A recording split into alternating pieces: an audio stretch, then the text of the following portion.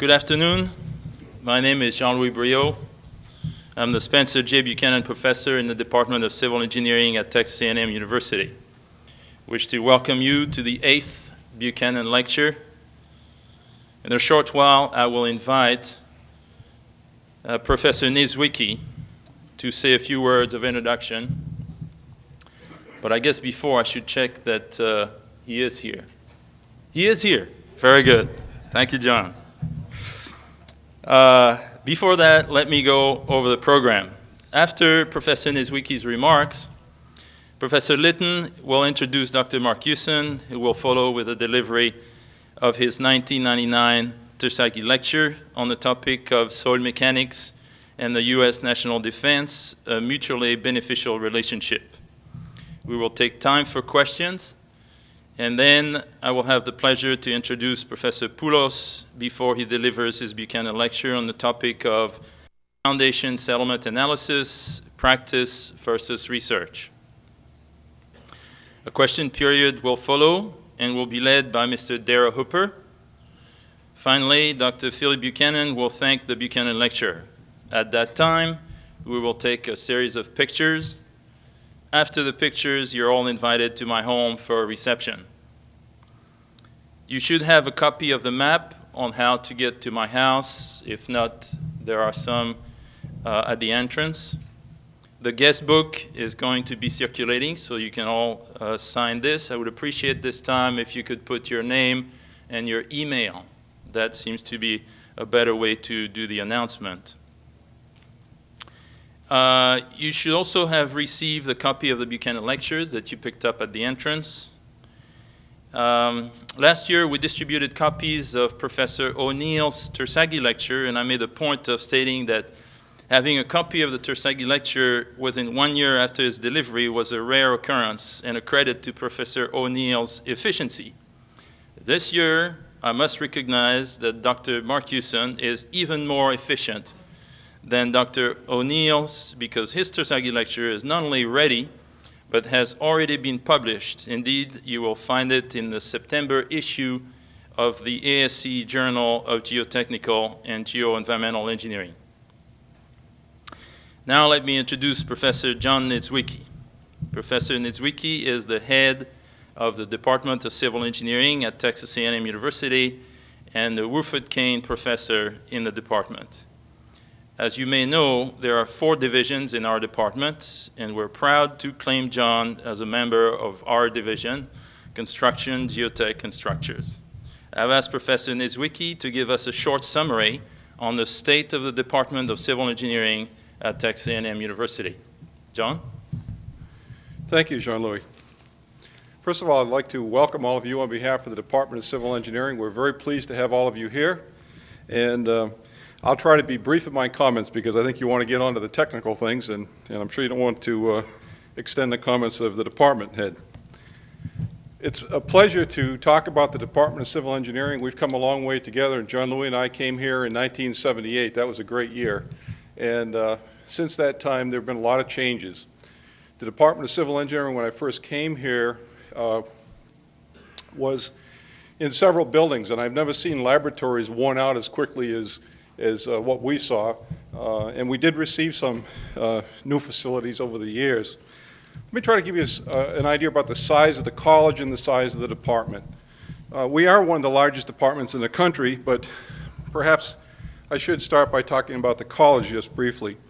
We have over 7,000 undergraduate students. We have over 2,000 graduate students in the College of Engineering. In the Civil Engineering Department, we have uh, consistently had for the last three years about 850 undergraduates declared majors in civil engineering and about 300 graduate students. So we're a little bit more than 10% of the College of Engineering. Uh, the question, I guess, that everybody has is where, does, where do all the students go? And, and during this last year, we've had a chance to look at, uh, as a result of our ABET accreditation and thinking about the future, uh, and how we're going to respond to the new uh, engineering criteria, uh, we've been doing exit interviews, and I get to meet with every graduating senior, and that's a pleasure because they're always happy to get out, so they're not really in the mood to argue too much. But let me just say from that, we're able to tell what the, what the average salary is.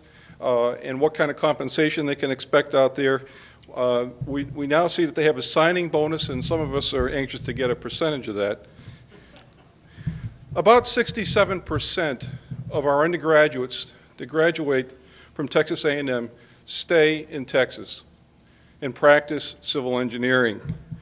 5% go into the military, 13% roughly go on to graduate school. 7% do other things. Uh, You might say, well, what other things? Well, some of them went to Hollywood. Uh, not as actors, but in animation. Apparently, there's a lot more money in that because there were several standard deviations above the mean of the salaries. We are the highest ranked department, which is the largest department. Be careful about this because the dean will have some words with me. The highest ranked of the largest departments in the College of Engineering. And we didn't get that way because of one individual. We got that way because we have a lot of good people. And we have a lot of support from people like yourselves, the profession, who, who have allowed us to do things like attract and, and support undergraduate and graduate students with scholarships. We have gone to the point where we have 81 scholarships for our undergraduate program. That's endowed scholarships, okay? So this, hopefully they'll continue to grow. We are not as lucky at the graduate level.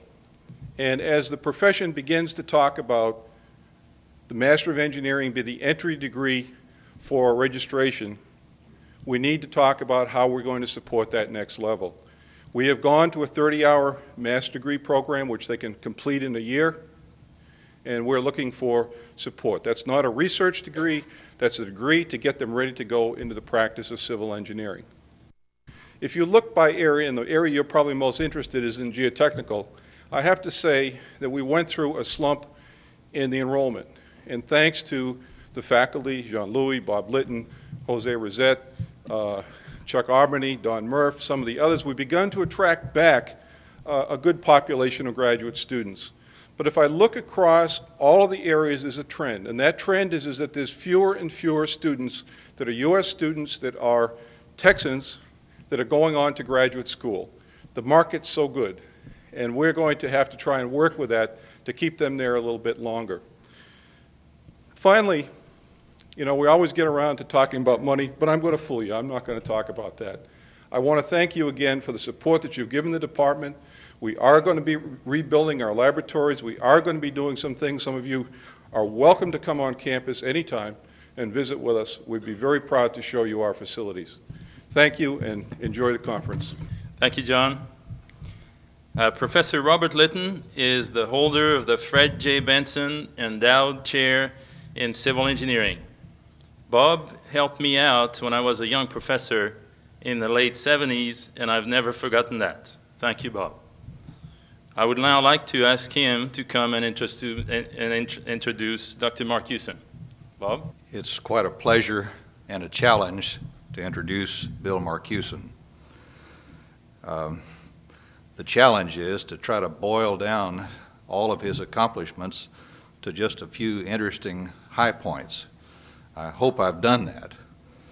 Uh, Bill is a native of North Carolina, got his bachelor's degree from the Citadel in South Carolina. After that, a master's degree in uh, civil engineering from Michigan State. After Michigan State, he joined the world's largest fraternity, and uh, spent a couple of years on active duty with the U.S. Army Corps of Engineers, where he was a platoon leader and a company commander. After the military, he went to North Carolina State and got a, a doctor's degree there. When he got finished with the PhD, uh, he joined the staff at the U.S. Army Waterways Experiment Station in Vicksburg. That was 1970. And by 1981, he became the director of the geotechnical lab there at WES. He was the director from 81 to 1999, and as of January the 1st of this year, uh, he has become an emeritus researcher of the Waterways Experiment Station and a consulting engineer. He's registered in Mississippi and South Carolina and is a chartered engineer in England. He has a, a wide variety of uh, responsibilities that he discharged during that entire career there at the Waterways Experiment Station, including research and development, analysis, forensic investigations, and so on and so forth. And in a wide variety of fields, including soil and rock mechanics, earthquake engineering, geophysics. Let me, I got to turn the page here. I couldn't get it onto one. Geophysics, uh, engineering, geology, military pavements, and a very interesting area of mobility. All of this uh, research, field research, laboratory research, analysis was conducted both in the United States and overseas. Uh, just reading through the, the resume is uh, quite an adventure. Uh, many of the things that he's been responsible for and been deeply involved in. Of course, all the energy that he's expended has resulted in awards and distinctions which are frankly too numerous for me to mention. But I do want to mention a few, like the American Society of Civil Engineers Huber Prize that he won, and then in 1997, the Norman Medal. The National Society of Professional Engineers named him the Federal Engineer of the Year back in 1995. In 1996, he was elected to the National Academy of Engineering. And he is currently the vice president of the American Society of Civil Engineers in Zone 2. And there are several other things, professional activities that he's involved in that I, told him I would leave him a little bit of time to present his, his lecture here after this introduction, so I better aim for that uh, termination of my introduction. He's seen a lot. He's been involved in a lot, and at all levels of involvement. This has given him a wide range of experience and a rare overview of the relationship between soil mechanics in its broadest sense and United States national defense, which is the subject of his Terzaghi lecture, another of the distinctions that he's been awarded and which he gave last year, 1999. I would ask you to give a warm welcome to Dr. Bill Marcuson. Bob, thank you very much for that uh, kind introduction. Um, it is indeed a pleasure for me to be the warm-up speaker for the Spencer J. Buchanan Lecture. And uh, in, in that sense, I need to tell you that Spencer J. Buchanan came to the Waterways Experiment Station about 1937 and was the first director of the geotechnical lab at the Waterways Experiment Station. And on the wall of the Casagrande laboratory, the first picture you see is Spencer J. Buchanan. And it's the same picture you see in your uh, handout in, your, in uh, Harry's publication. The second is W.J. Turnbull. The third is James P. Sale. And now the fourth is William F. Marcuson. But, uh, but I'm delighted to be at Texas A&M and uh, to be part of the Spencer J. Buchanan uh, lecture as the uh, warm-up show. Um, I was deeply honored to be invited to present last year's Terzaghi lecture because of the stature of the lecture as established by those distinguished engineers who preceded me.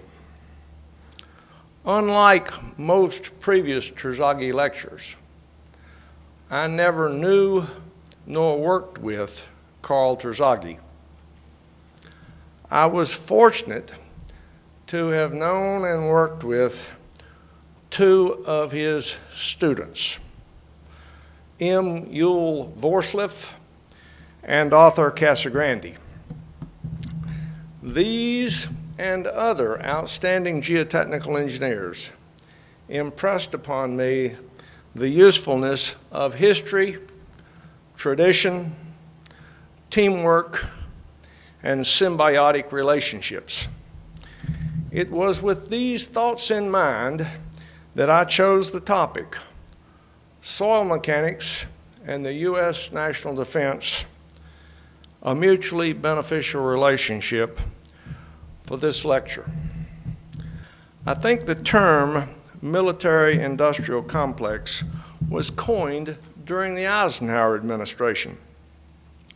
What I'm going to speak about this afternoon is the operation of the military industrial complex and the fruits it has generated and will continue to generate. This is a roadmap of my presentation. I've been fortunate.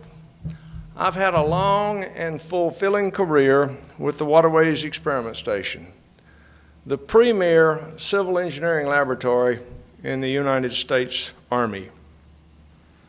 This afternoon, I'm going to concentrate on military research as opposed to civil works research.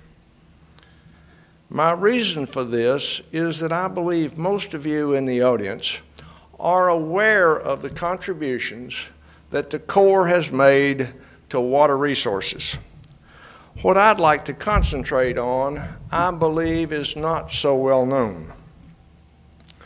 I don't want to leave you with the impression that the Waterways Experiment Station was the only player. We were not. And I need to tell you that I'll talk about the Waterways Experiment Station, WES, and the station all as the same synonymous organization. So if I say WES or I say the station, it's all the same. There were and are a number of other players. From the government side of the house, they include the Engineer Research and Development Lab, which was part of the Corps located at Fort Belvoir. In the Air Force, there's the Air Force Weapons Lab located at Kirtland Air Force Base near Albuquerque. And the Naval Civil Engineering Lab, now named Naval Facilities Engineering Services Center at Port Hueneme near Los Angeles. And of course, the Defense Atomic Support Agency, now named the Defense Threat Reduction Agency. This afternoon, I'm going to concentrate on a period just prior to World War II, to today. If you look back in history, you'll see that engineers searched, engineers and scientists searched in vain for mathematical equations and soil mechanics formula that would allow the prediction of expected soil behavior with theoretical underpinning. In 1720, the French government created the Corps of Engineers of Bridges and Roads, the first government organization dedicated to civil engineering. Much of Charles Augustin Coulomb's work was related to military fortifications. Coulomb's theory of earth pressure on lateral supports was founded on the assumption, and I quote, Failure of a laterally supported bank occurs as a result of shearing resistance of the earth being exceeded along a surface of sliding, end quote. From this, he derived the first mathematical formula intended to predict soil behavior in a theoretical framework. Since this was done for the French military, I argue that the military was a critical part of the birth of soil mechanics. During this presentation, I will demonstrate to you that the military has played, is playing, and will continue to play an important role in making contributions to soil mechanics and geotechnical engineering. In fact, how many of you in the audience know what was the first engineering school in the United States? West Point, founded in 1802. And in fact, in two more years, they will, settle, they will celebrate 200 years. Now, let's go to a period just prior to World War II. During 1936, seepage problems threatened the integrity of Franklin Falls Dam, an earth structure located in New Hampshire. A major investigation ensued. Arthur Casagrande had recently published his findings on his investigations of fine cohesionless soils, a report that caught the attention of Captain James H. Stratton of the Corps' Boston District. On Stratton's recommendation, the Boston District hired Professor Casagrande as a consultant to investigate the critical density of the fine sand in the dam's foundation. This marked the beginning of a relationship between the Corps of Engineers and Arthur Casagrande that lasted until his death in 1981. And that relationship, possibly as much as any single factor, shaped the future of soil mechanics in the Corps. As World War II approached, no area of military R&D was more vital than that involving airfield construction, largely because technology in the area lagged far behind the requirements of the time. Before the wartime emergency, commercial planes of 25,000 pounds gross weight having wheel loads of up to 12,500 pounds were the heaviest in use. As late as 1939, the U.S. Army Air Corps assumed that in the event of war, all planes, except heavily loaded bombers, could operate on sod fields. In 1940, while Nazi Germany overran France and threatened to invade England, the Army had yet to develop criteria for paved runways, and virtually no concept existed as to how to design runways for wheel loads exceeding 12,500 pounds. Yet, bombers were being developed with wheel loads of 37,000 pounds, and far heavier ones were coming into use. Thus, the Corps of Engineers inherited a complex and urgent problem.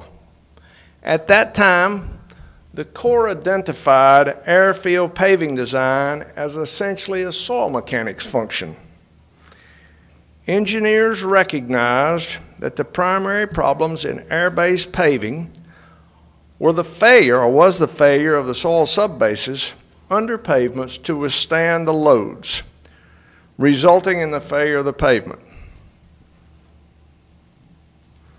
Corps leaders acknowledged the gravity of the situation, and T.A. Dad Middlebrooks of the Office Chief of Engineers had by early 1942 become impressed with a method developed in California by O.J. Porter to calculate the bearing capacity of soils under pavements. The penetration test was essentially a shear test, measuring the strength of the soil, while the bearing capacity was an index of that strength.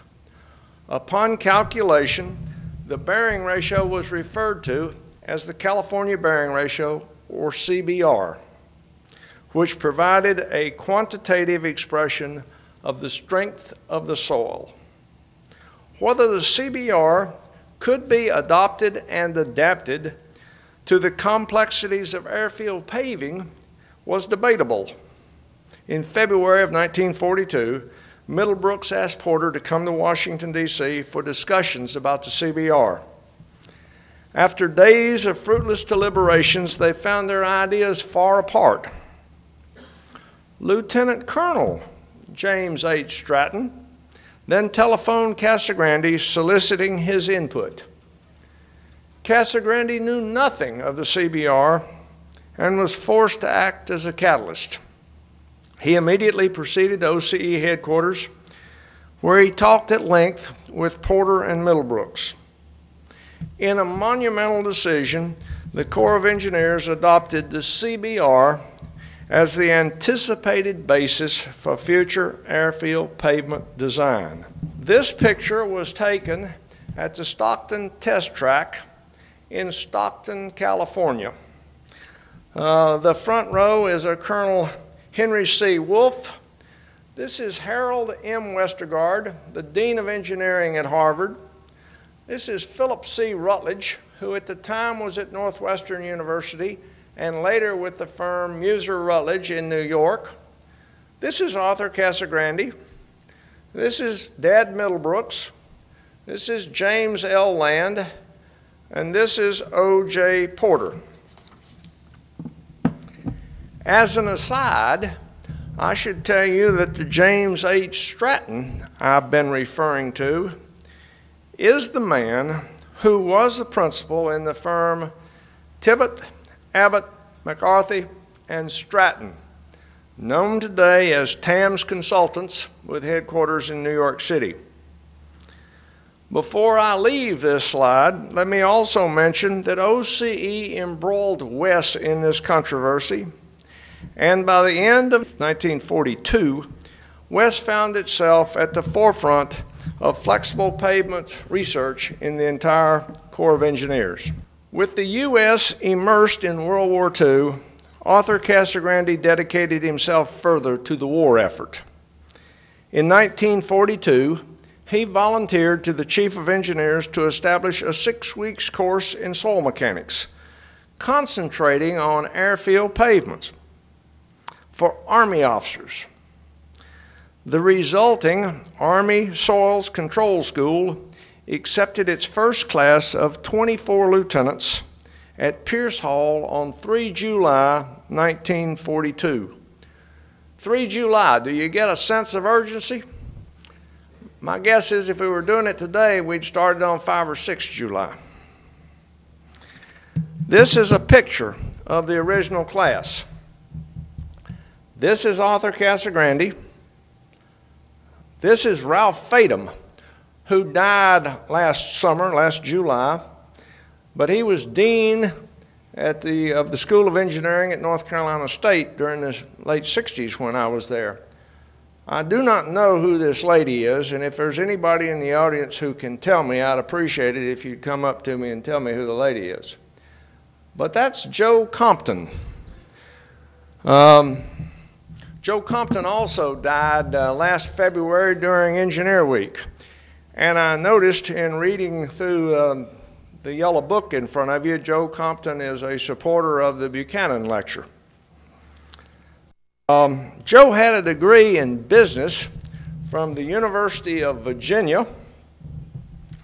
He later took courses, engineering courses, at Harvard and at MIT and he became one of the leading figures in the development of soil mechanics and military environmental analysis at WES. Arthur Casagrande and Karl Terzaghi, who had come to Harvard in 1939, conducted classes personally in a demanding eight-hour-a-day schedule that included classroom lectures, laboratory sessions, discourses by outside speakers, and field trips. From a seemingly infinite variety of samples from his Harvard laboratory, Casagrande would feel each soil, roll out a thread in the palm of his hand, taste it, bite it, rub it between his fingers, estimate its strength, and finish with a description of its probable source, suitability for airfield construction, potential problems, and estimate its Atterberg limits. His assistant, and that was Stanley D. Wilson, invariably found his estimates to be nearly as precise as the laboratory determined values. Harvard continued to sponsor the course until 1944, producing about 400 graduates. As these graduates and their careers progressed, they moved to important positions throughout the Corps and the Army, providing Professor Casagrande with an important network. This allowed Casagrande to have what I'd call maximum influence on technical subjects involving soil mechanics within the Corps of Engineers. In 1942, the 40-year-old Casagrande devised a new classification system that he incorporated into his Harvard courses. By year's end, the Corps had accepted Casagrande's airfield classification system as the standard for military construction. Casagrande developed the AC system as a rapid method for identifying and grouping soils for airfield construction. I am told he was particularly pleased because the AC system also contained his initials. Continued evolution of the AC system after the war, largely at Harvard and at WES, led to the adoption of Casagrande's unified soil classification system as the most widely used in the field today. Now, this is a table taken directly from a text entitled Introduction to Soil Mechanics and Foundations by Sowers and Sowers. And I just want to read for you the caption under the title, but it says, After U.S. Waterways Experiment Station. This is a plasticity chart, again, taken from a text by Sowers and Sowers. And again, let me just read the acknowledgments at the bottom. And it says, after A. Casagrande and the U.S. Army Waterways Experiment Station. All of this grew out of our country's needs for airfields in World War II. The Unified Soil Classification System may very well be Casagrande's greatest contribution to soil mechanics because of its wide and important use in the practice of geotechnical engineering today. Airfield designers had long recognized the importance of compaction of base and subbase materials prior to paving, especially where flexible pavements were to be used. However, no systematic analysis of compaction requirements had been performed for airfields prior to the end of World War II. In May of 1945, OCE authorized a comprehensive soil compaction investigation and in June assigned the testing to WES. Immediately, project directors A.A. Maxwell and Cecil D. Burns, both engineers at WES, attempted to locate materials in the vicinity of Vicksburg. A source of material was found and a mixing plant built on locations, blended soils from a pit in large quantities, and these were spread by drag lines onto 200 foot long test lanes. Drivers then passed various compaction machines repeatedly over the lanes. This is a slide of an early sheep's foot roller. Researchers varied the water contents of the soil, the number of passes, the types of machinery used, and other components in a complex series of tests. Field and laboratory examinations determined compaction and CBR data that, that were produced by each set of variables. From this, specific compaction expectations and methods under field conditions could be predicted for future construction. In April of 1956, W.J. Turnbull and Charles R. Foster published their seminal paper entitled Stabilization of Material by Compaction. This was also later published in the Transactions of ASCE in 1958. Let me now read from the synopsis of that paper. A soil can be stabilized by compaction at proper water content. This paper shows the relationship between strength and both water content and density for cohesive soils, and it describes the variation in density and strength produced by variations in rolling and lift thicknesses in field compaction. These are some of the data presented by Turnbull and Foster. And across the bottom, you have water content. You've got unsoaked CBR and dry density. and this is for six blows per layer, 12 blows per layer, 26 blows per layer, and 55 blows per layer with a 10 pound hammer falling 18 inches. This is another picture from the Turnbull and Foster paper. And again, across the bottom, you've got number of passes up the side, maximum dry density and optimum water content. And we're looking at, if you will, sheep's foot rollers with a 7 square inch foot, a 14 square inch foot, and a 24 square inch foot. Let me now just quote from the acknowledgement section of the paper. The studies described herein were conducted under the Office Chief of Engineers as part of an overall development of design criteria for airfield pavement for the United States Air Force. Gail McFadden, Thomas Pringle, and F.B. Henian of the Airfields Branch of the Office Chief of Engineers monitored this study, for which guidance was furnished by Arthur Casagrande, Donald W. Taylor, Kenneth B. Woods, O. J. Porter, and Philip C. Rutledge, acting as consultants. The laboratory and field work were accomplished by the Flexible Pavements Laboratory of the Waterways Experiment Station. John Focht discusses the paper. And let me thank John for coming. John will have heard this lecture twice, and I think my wife is the only one who's heard it more than twice, but Margaret says it gets better every time. John, I hope you think so too. Uh, John also discusses the paper, and he flags the point that moisture content is certainly as important as density control.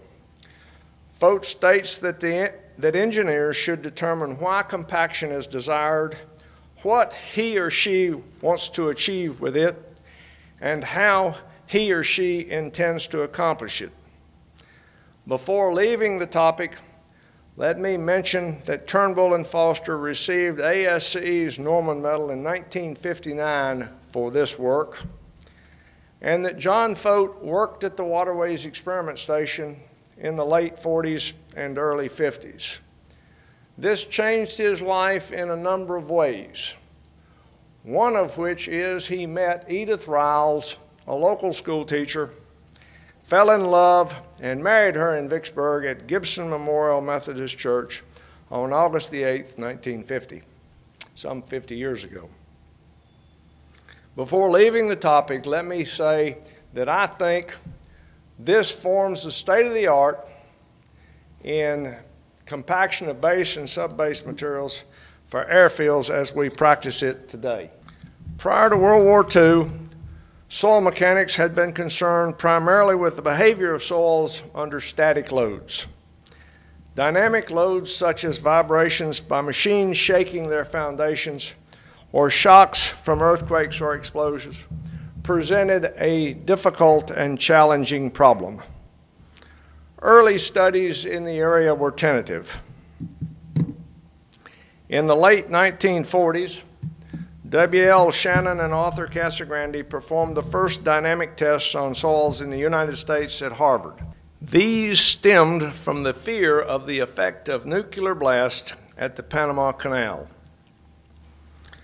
Soil dynamics attracted relatively little attention until the 1950s when the proliferation of long-range missiles carrying nuclear warheads capable of producing massive ground shocks aroused new concerns. I'll now briefly cover work, both analytical and laboratory, that was conducted in the early 1950s. During the early 50s, or during the 50s, Professor Newmark and his colleagues at the University of Illinois conducted research involving the design of underground protective structures. Much of the work involved the conduct of experiments to aid in the development of numerical methods that could be used to design underground nuclear protective structures. The testing was conducted by the Defense Atomic Support Agency primarily at what we now call the Nevada Test Site outside of Las Vegas. And let me just call your attention to the center report here, published in 1956, entitled Designing for Nuclear Blast Protection. That's a live load most structural engineers prefer not to deal with. Strategists in the United States during this period also feared the impact of near-miss nuclear explosives on strategic defense systems such as underground missile silos. The thought was that if we have an underground missile silo and it gets a direct hit, we will uh, sacrifice that. But if it gets a near miss, we'd like the bird cage to open and the bird to get out. To supplement the field projects, OCE in 1951 turned to Professor Donald W. Taylor at MIT to perform a laboratory investigation on the response of soils to rapid, intense loading. During this study, Robert V. Whitman developed a large triaxial testing machine that produced a single rapid loading on samples in an attempt to simulate the shock of the explosion. And if you're really interested in knowing more, I would call your attention to the paper by Whitman, Behavior of Soils Under Transient Loading, Proceedings of the Fourth International Conference on Soil Mechanics, 1957. Now, in 1957, OCE placed WES in charge of future studies in the area. Turnbull continued the contract at MIT to perform another series of laboratory investigations, which was completed in the late 1960s and produced some 27 reports. Robert V. Whitman was the principal investigator on this contract, and this slide shows four typical report titles. One dealing with the shearing resistance of sands, rapid loading, one on wave propagation velocity, another on stress time behavior, and a fourth on the response of soils to dynamic loading. Let me show you two figures now that Bob, are in Bob Whitman's last report on the uh, response of soils to dynamic loading. But actually, Bob Whitman took the figures from a report by Carl Costantino, who is a professor at CCNY City College in New York. But uh, this is a plot of horizontal displacements at a radial distance from the blast of 1,550 feet. This is time in milliseconds, and this is horizontal displacements. But what I want you to notice is the displacements are minus and plus two inches. And we're talking about two inches of displacement, plus or minus two inches. This is another figure from Whitman's report taken from Costantino, but again, this is ground zero.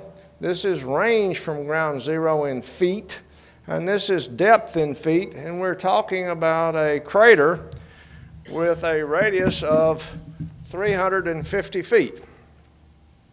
The purpose of showing you this is just to give you an example of the sort of problems the Department of Defense was studying at the time, both in terms of intensity and rate of loading. During this same period, parallel work was ongoing at other universities, the University of Illinois notably, and that's the one I'm going to highlight today. And I'd like to highlight a report entitled energy absorption capacity of granular materials in one-dimensional compression by A.J. Hendron Jr. and his colleagues at the University of Illinois. The work was done for the Air Force Special Weapons Lab at Kirtland Air Force Base. And let me just more or less quote, I'll paraphrase from Skip's report.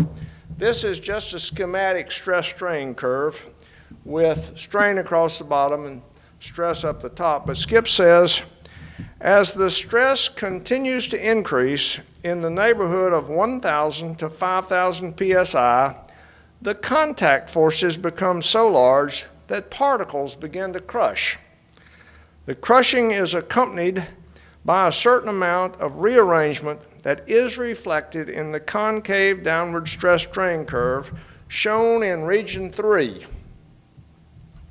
Energy is absorbed in this range by the creation of new surface area during crushing, and energy is dissipated as heat due to rearrangement of the new particles into a denser configuration. Both of these mechanisms absorb energy, which is no longer in the form of recoverable strain energy. This work was published in 1963. And again, the point I'm trying to make is that in the early 1960s there was a great deal of study ongoing with regard to soil properties, particularly dynamic soil properties, dynamic nonlinear soil properties at rapid, intense loadings. Because of time constraints, I'm not going to cover all the work that went on at that time at various locations, including WES, to predict dynamic response of underground structures. But I believe that this work greatly influenced the way we approach dynamic soil structure interaction problems today. Now let me change subjects slightly. Difficulties with Nike Zeus tracking radar systems located at, Fort, at White Sands Missile Range, New Mexico, caught the attention of foundation specialists in the early 60s. Unexpected movements resulted in sudden changes of direction or stopping of the radar trackers as they located targets and further vibrations occurred as the antennas developed precise focus on missiles after launching. WES was asked to investigate the problem. Primary responsibility for this study fell on two engineers and a scientist, Robert Ballard and Z.B. Fry. This is a slide of the radar tower. Notice the circular foundation or footing. WES modeled these footings and conducted model tests both at Vicksburg and Eglin Air Force Base. This picture depicts one of those model foundations. The forcing function was provided by an eccentric mass vibrator that had been used by the Navy to test ships in World War II. The Navy first loaned and then gave the device to WES weighing 5,600 pounds. The cumbersome machine and its large electric generator had to be moved by a crane. It could, however, simulate motions in three directions vertical, torsional, and rocking. Placed on a circular concrete base at WES with varying static loads, it applied a dynamic load of 20,000 pounds. Using the Navy machine as a model, WES designed a scaled down version with a hydraulic motor capable of generating 3,600 pounds of force. The mobile apparatus shown here was trailer mounted, pulled by a truck, and could operate on power generated by the truck engine. Its primary purpose was in the determination of Rayleigh or shear wave velocities to a depth of about 100 feet. Now you've seen this slide once before. Last time I called your attention to the round circular base. This time let me bring your attention to the WES truck that's located at the base at the front right. This work, WES worked with a group of consultants named on this slide to provide advice and assistance. Whitman Richart, and Lydik Jacobsen proved especially helpful. Many of these consultants took the WES data back to campus and developed theoretical and analytical approaches for predicting dynamic footing response. For example, I'd refer you to a paper entitled Footing Vibration with Nonlinear Subgrade Support by Funston and Hall. Let me also just highlight three other important papers that came out of this investigation. One entitled Dynamic Response of Footings to Vertical Loads by John Lysmer and Bill Richart. Another entitled Comparison of Footing Vibration Tests with Theory by Bill Richart and Bob Whitman. And a third, Design Procedures for Dynamically Loaded Foundations by Bob Whitman and Bill Richart. These three papers were published in the ASCE Journal in 1966 and 1967.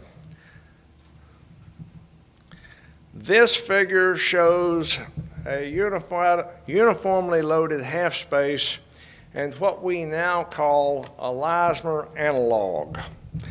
Let me now show you a couple of figures taken from the Richart Whitman paper of 67.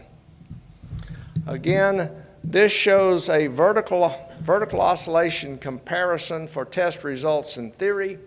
The dots are WES results. The smooth curves are theory. This is another plot, a comparison of amplitudes of motion for torsional oscillation.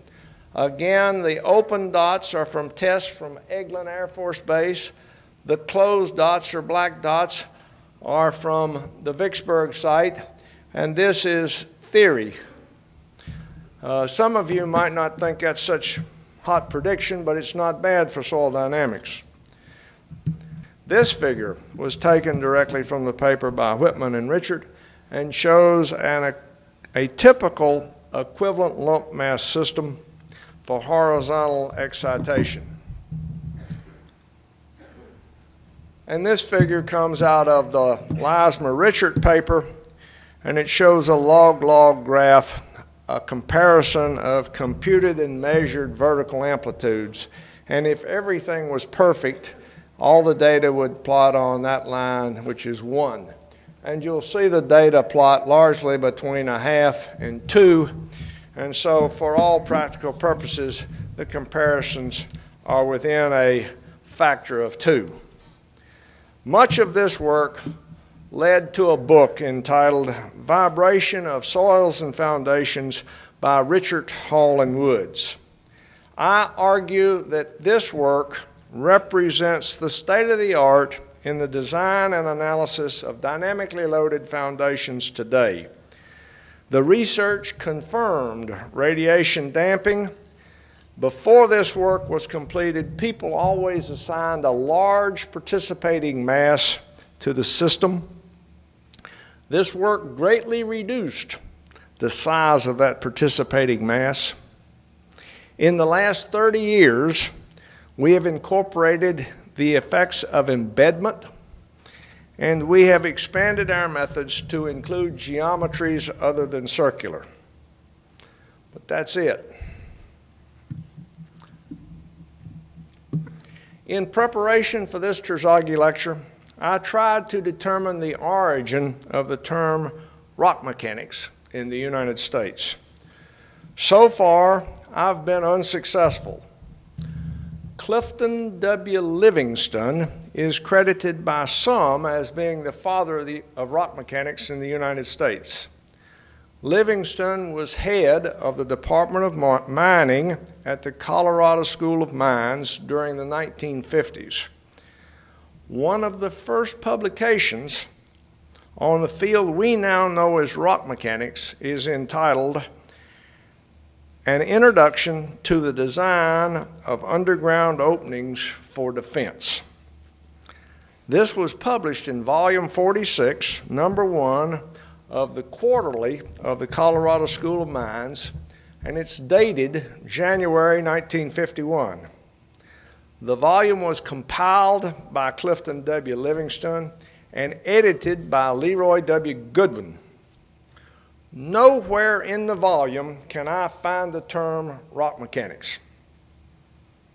The first symposium on rock mechanics was held in July 1956 at the Colorado School of Mines. Consequently, I believe the term rock mechanics was coined in the early 50s, and I believe the Department of Defense played an important role in the formation of the field that we now know as rock mechanics. The group of papers presented in the volume of the quarterly of the Colorado School of Mines discusses the design and construction of underground openings subjected to bomb bursts. The Missouri School of Mines, now known as the University of Missouri at Rolla, Penn State University, and the University of Minnesota were other early players in the field of rock mechanics. Much of the research being conducted in the 1950s was directly related to our national defense and the fear of nuclear weapons effects. As I previously mentioned, Professor Newmark and his colleagues at the University of Illinois were heavily involved in soil structure interaction problems related to high intensity, rapid loading. Much of the work was part of the Nuclear Weapons Effects Research Program sponsored by the Defense Atomic Support Agency, later called the Defense Nuclear Agency, and now named the Defense Threat Reduction Agency. During this period, the United States was interested in constructing large underground cavities on the order of 120 feet in diameter. At a meeting with the Defense Atomic Support Agency, doubts about the constructability of such caverns at NTS were expressed. These doubts stemmed from the size of the cavern with respect to the rock's low strength with respect to the ground stresses, the vertical stresses, the overburden pressure. Professor Deere at the University of, of, Illinois was a consultant to Fenix and Scisson, the firm that was responsible for underground design at the test site. Fenix and Scisson, based on Deere's recommendation, supported the concept and it was approved to be built. After approval, Fenix and Scisson turned to Professor Deere and said something to the effect, we followed your advice, now let's make it work. If you were from Texas A&M, you'd probably say, put your money where your mouth is. Two of the cavities, approximately 100 feet in diameter and 150 feet high, were constructed at a depth of 1,300 feet in very weak, tuff, of excellent rock mass quality. A third cavity, approximately 60 feet in diameter and 80 feet high, was constructed at a depth of 350 feet in jointed granite of high impact strength and fair to good rock mass quality. Now this is a slide of the two cavities constructed at 1,350 feet. Cavity 1 located here, cavity 2 here. And the access portal was a 4,700 foot long tunnel that entered at the side of Rainier Mesa.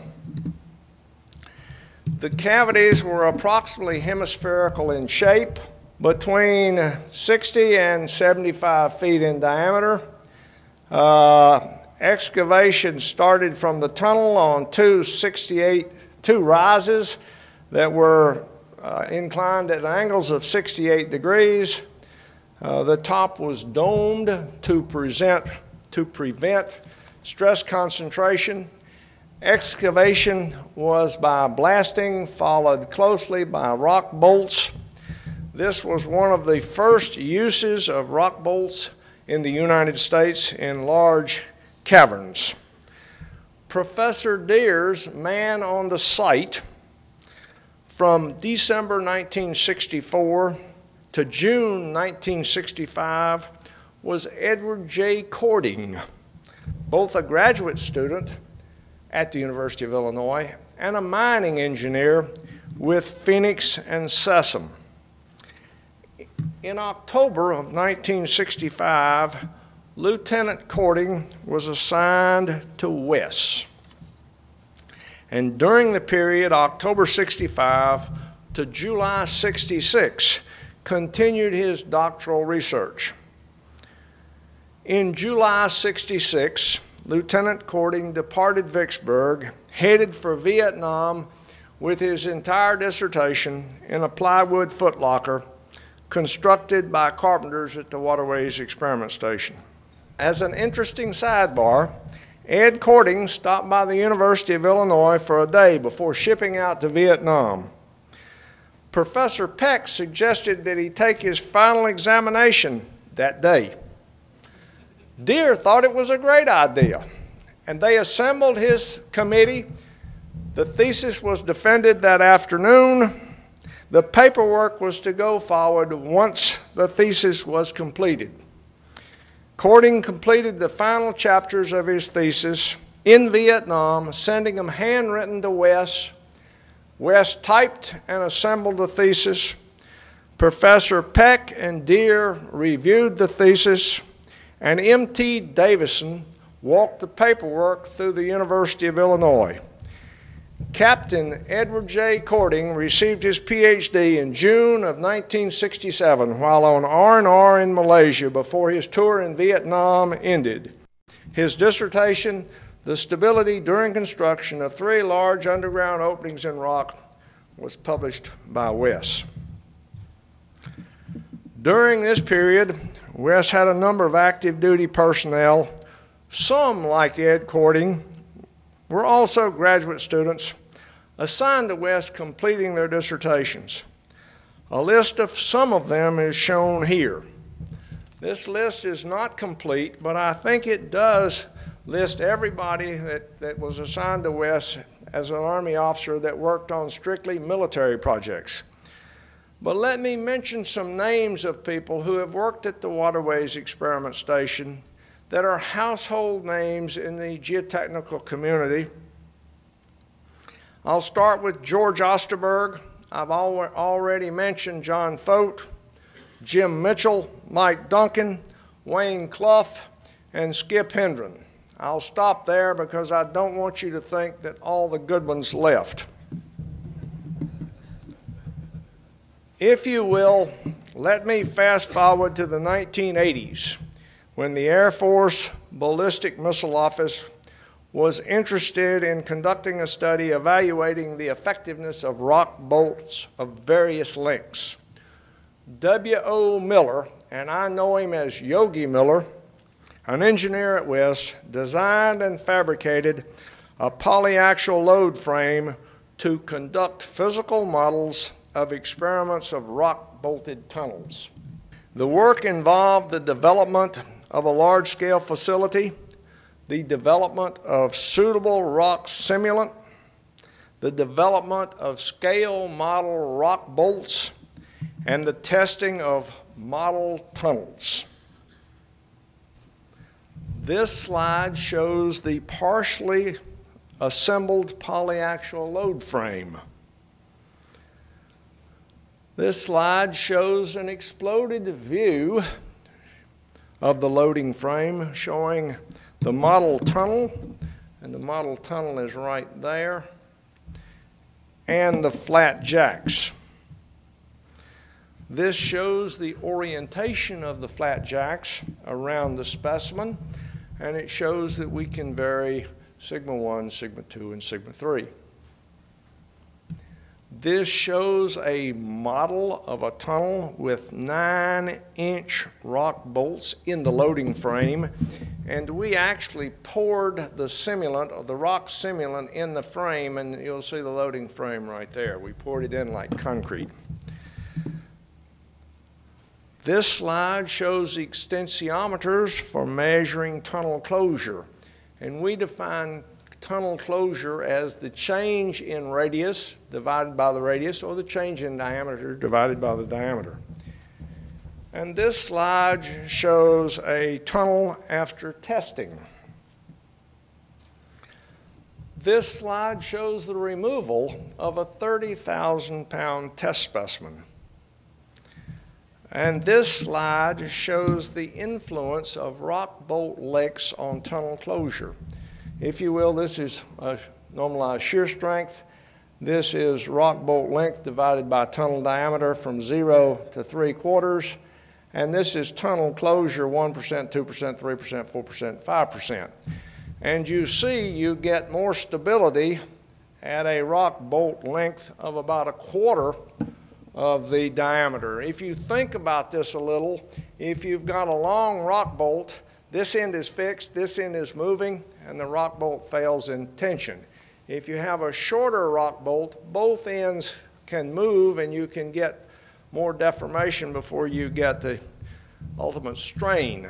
Uh, it also, the tunnel also deforms as a thick wall cylinder. Uh, much of this work formed Miller's PhD dissertation here at Texas A&M, um, and it yields a design scheme for more stable tunnels and the potential for saving up to $5 million per mile of tunnel construction. I should mention that Miller's research was targeted at high stress, um, low strength rock tunnels. This is deep tunnels in weak rock. The relationships are not necessarily the same for lower stress, higher strength rock tunnels. Now, up until now, I've been talking about the past, and I'm a whole lot more comfortable talking about the past than I am the future. But I'd like to talk just a little about the future. I've tried to make the point that WES has a long history in conducting scale model and full-scale experiments. I've mentioned field test sections that were constructed to study compaction, full-scale test conducted at Nike Zeus radar towers, and vibration tests conducted of scale model circular footings and full-scale studies of rock-bolted underground structures, scale models of rock-bolted tunnels tested to failure. Such studies are complex, important, require a team of people, expensive, and sometimes critically necessary to understand the phenomena and behavior in complex situations. And I would argue that the government is uniquely situated to conduct such experiments. These are exciting times, times of rapid change and an increasing rate of change.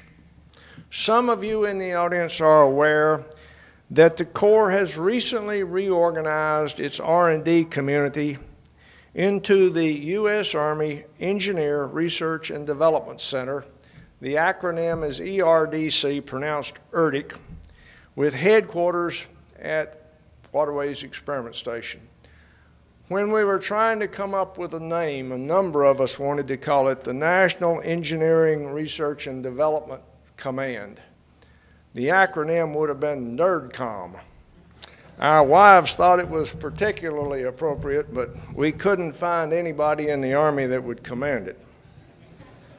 Uh, there are a number of laboratories, uh, many of them at the Waterways Experiment Station, but we have the Cold Regions Research and Engineering Center located in Hanover, New Hampshire, the Construction Engineering Lab located near the campus of the University of Illinois, and the Topographic Engineering Center located at Fort Belvoir. But all of these come under ERDIC now, which is headquartered in Vicksburg. ERDIC has many unique facilities. I'll show you four typical examples listed here.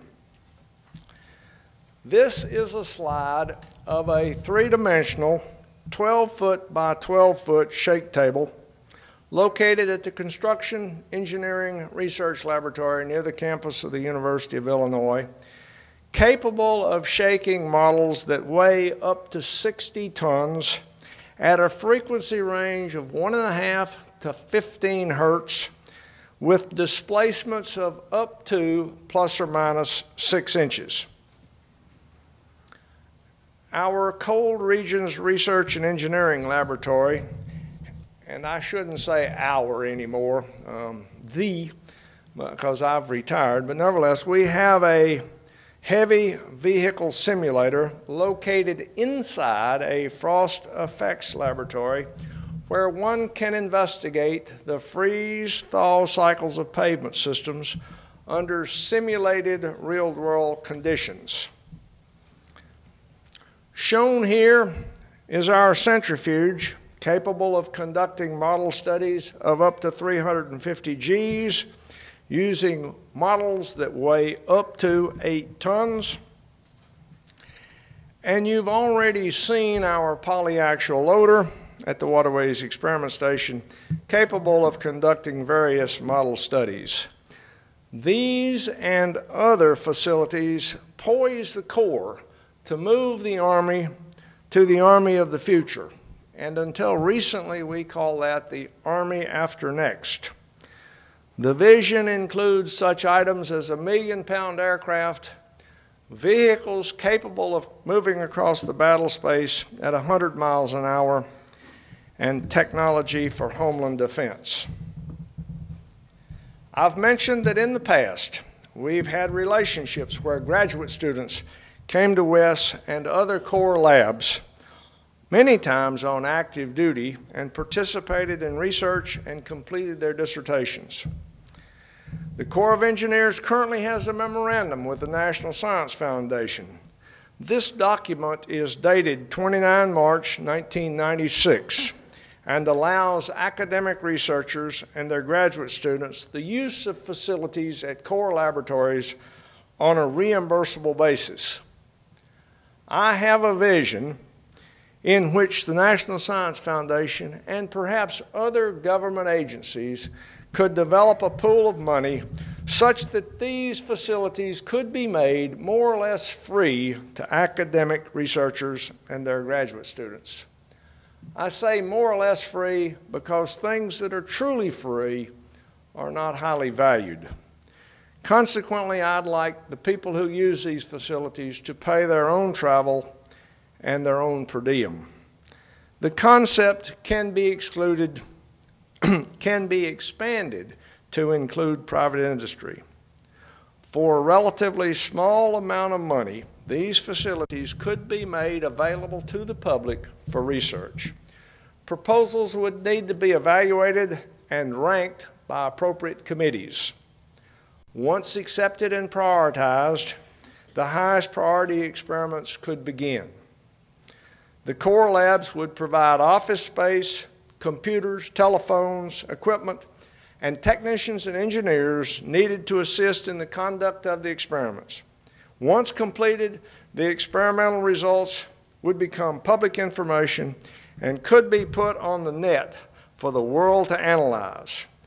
There would have to be one caveat, and that is if the Department of Defense had an urgent national need, we'd break in line and conduct our experiment as required.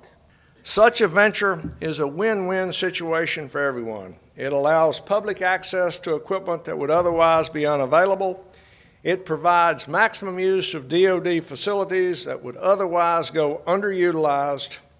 And in the last year, discussions have been initiated with NSF to make this become a reality. And the hope is to have it in place soon. During this presentation, I've painted a picture of cooperation and synergy among the government, private sector, and the academic community. This has been a team effort, one of engineers working together to address critical issues of our nation and our national defense. Now let me briefly discuss two or three areas of research with a high potential for, fu for future payoffs. A current vision in the Department of Defense is to have a rapidly deployable, self-sustaining expeditionary force and for you Marines in the audience, I'm not using expeditionary in the doctrinal sense. Such a force could be deployed anywhere in the world, carry out its mission without dragging a large logistics or sustainment tail behind it.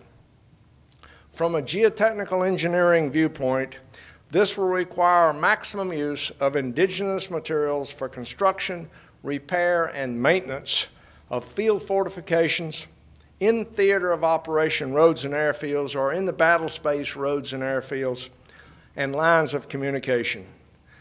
Let's just focus on the use of indigenous material for construction, repair, and maintenance of in-theater roads and airfields and the potential benefit results of this effort will have on the private sector.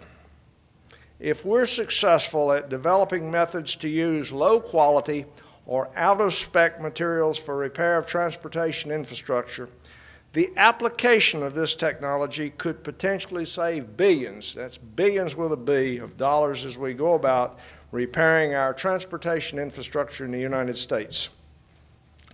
Much of the future training of the armed forces will be conducted using computerized war games and simulators. The natural environment must be understood and characterized, and we're a long way from there. These requirements will drive engineering technology in the future. Another Army requirement associated with creating a virtual battle space environment for training purposes is what I call putting engineer activities into the models. For example, what is required and how long will it take for an infantry battalion to cross a given river at a given location if the bridge is destroyed. Again, if we're successful at creating a realistic, dynamic, synthetic, natural environment and accurately modeling the engineer activity, imagine the spin-offs that this will have for the civilian engineer and the construction community. For example, large complex construction projects, such as the construction of a dam, could be completely rehearsed, and project managers could plan and manage staffing and material requirements as a function of time more effectively than ever before. In a sense, the point I'm trying to make is something that many geotechnical engineers already know our computerized capabilities have far outstripped our site characterization capabilities.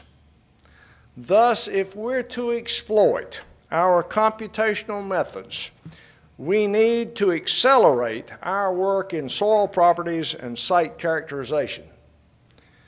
Other current Army requirements that are driving engineering technology include homeland defense, terrorist threat protection, and minefield and unexploded ordnance neutralization. In summary, I believe that DoD and the geotechnical engineering community have had a wonderful partnering relationship beginning in the 1930s. Together, we have conducted research directly related to critical issues regarding our national defense. These results have had dual use application, and by that I mean they've had application to the military and they've had application to the civilian side of the house, the life, the civilian side of the house. They have changed the state of practice in our field and they have improved the quality of life for all Americans. The system is alive and well today, and as we go about developing our future national defense systems, there are critical roles for the government labs, private industry, and the academic community to play. This is a list of people who have made a major contribution to this talk. I have used their ideas and words freely. I need to call your attention to Ben Fatherree, a history professor at a local junior college, Hinds Junior College near Vicksburg, Mississippi. Ben was under contract to the Waterways Experiment Station to develop a history of the geotechnical lab, and much of this talk was taken directly from his history. I also need to acknowledge WES, the Corps of Engineers, and the United States Army. Without their support, none of this would have been possible. This is a picture of Harvey Wahls, who guided my career through North Carolina State University and who I owe a great deal of credit. And lastly, to my wife, Margaret, who has built me up when I was down and gently let me down when I was too inflated. and let me thank you, too, for being a wonderful audience. I'll now entertain uh, questions if you have any and if I can get the lights so that I can actually see faces. Uh, a question that I've often anticipated and nobody's actually asked is why was the Army interested in underground spherical cavities? But if you think about putting a device dead center and setting it off, you create tension or compression, but no shear. And much of the energy transmitted to the rock is transmitted in shear. And so if you produce no shear, could you conduct underground experiments and nobody know?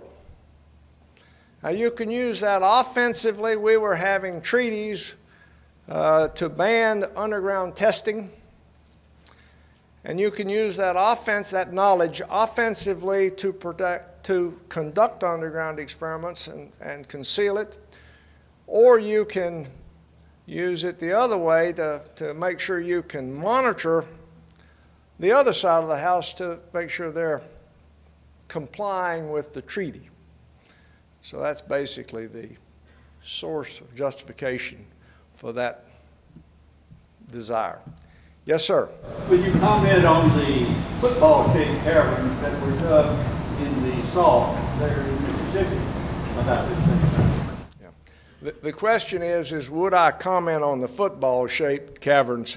Um, well, the only, the only comment I can make is, is that that was the first one we had ever built, and, and we thought we would be more successful if we uh, domed the top to prevent stress concentrations and it was more proof of, uh, proof of our ability to construct it than it was to set off a, a, an underground nuke. So you did put a nuke in I don't know.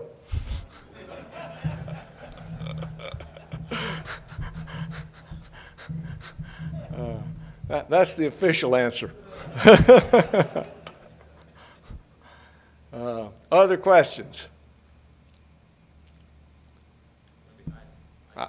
Yeah, yeah. Are there any major uh, pieces of equipment that are planned for the future at the Waterways Experiment Station? Um, the question was, is are there any major future uh, pieces of equipment that are planned for purchase? Um, the, the only one that I'm familiar with is we have multispectral wave generator that is capable of producing multispectral waves in places like the Port of Long Beach or the Port of Los Angeles. And they do plan a, uh, a major upgrade of that multispectral wave generator. Um, and there might be others that, that I'm not totally aware of at this time. Yes, sir.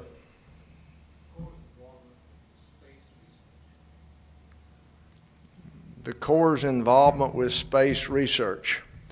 Um, I guess the question is what is or was the Corps' involvement with space research? Uh, we certainly built the, uh, the launch facility at uh, what was Cape Canaveral and is now Cape Kennedy. Uh, much of that's been turned over to NASA. In fact, I'd say all of it's been turned over to NASA. And um, uh, we, we, we uh, play a supporting role, but that's all just whenever NASA calls us and asks for help. Um, we're there, but, but basically that ball has been turned over to, uh, to NASA. There was a question back there. Yeah, Bob Patton. Bill, I had the same question. I was kind of curious if you handle any moon samples or anything, Mercury or anything like that. Also, before he answers, I'd like to, y'all to recognize he just finished a term on the ASCE Board of Directors. Did an outstanding job. Uh, well, uh, the question was dredge material. What we're doing with dredge material. Was that your question? What was your question? Moon material. Uh, Well, the, the only the only thing I know personally about uh, about moon material is uh, is there was work done at Berkeley. In fact, uh, Jim Mitchell, uh, Nick Costes, and some people like that won a Norman Medal about 1970 on uh, properties of lunar material, and and I, I think. Um, um, uh, there's five authors on that paper, and I'm having trouble coming up with their names, but uh, but I, I, don't know of anything that we're doing with lunar material now. Uh, again, let me, let me tell you how pleased and honored I am to have been part of, uh, of this um, celebration. And, uh, and, and I'll step down. Thank you very much.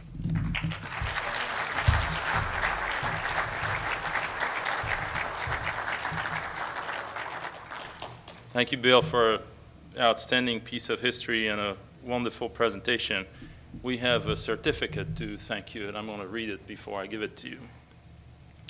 It, is, it says, a certificate of appreciation to thank Dr. William F. Marcuson III, USA Waterways Experiment Station, for delivering his 1999 Terzaghi lecture entitled Soil Mechanics and U.S. National Defense, a Mutually Beneficial Relationship at the occasion of the 8th Spencer J. Buchanan Lecture, November 3rd, 2000, Texas A&M University.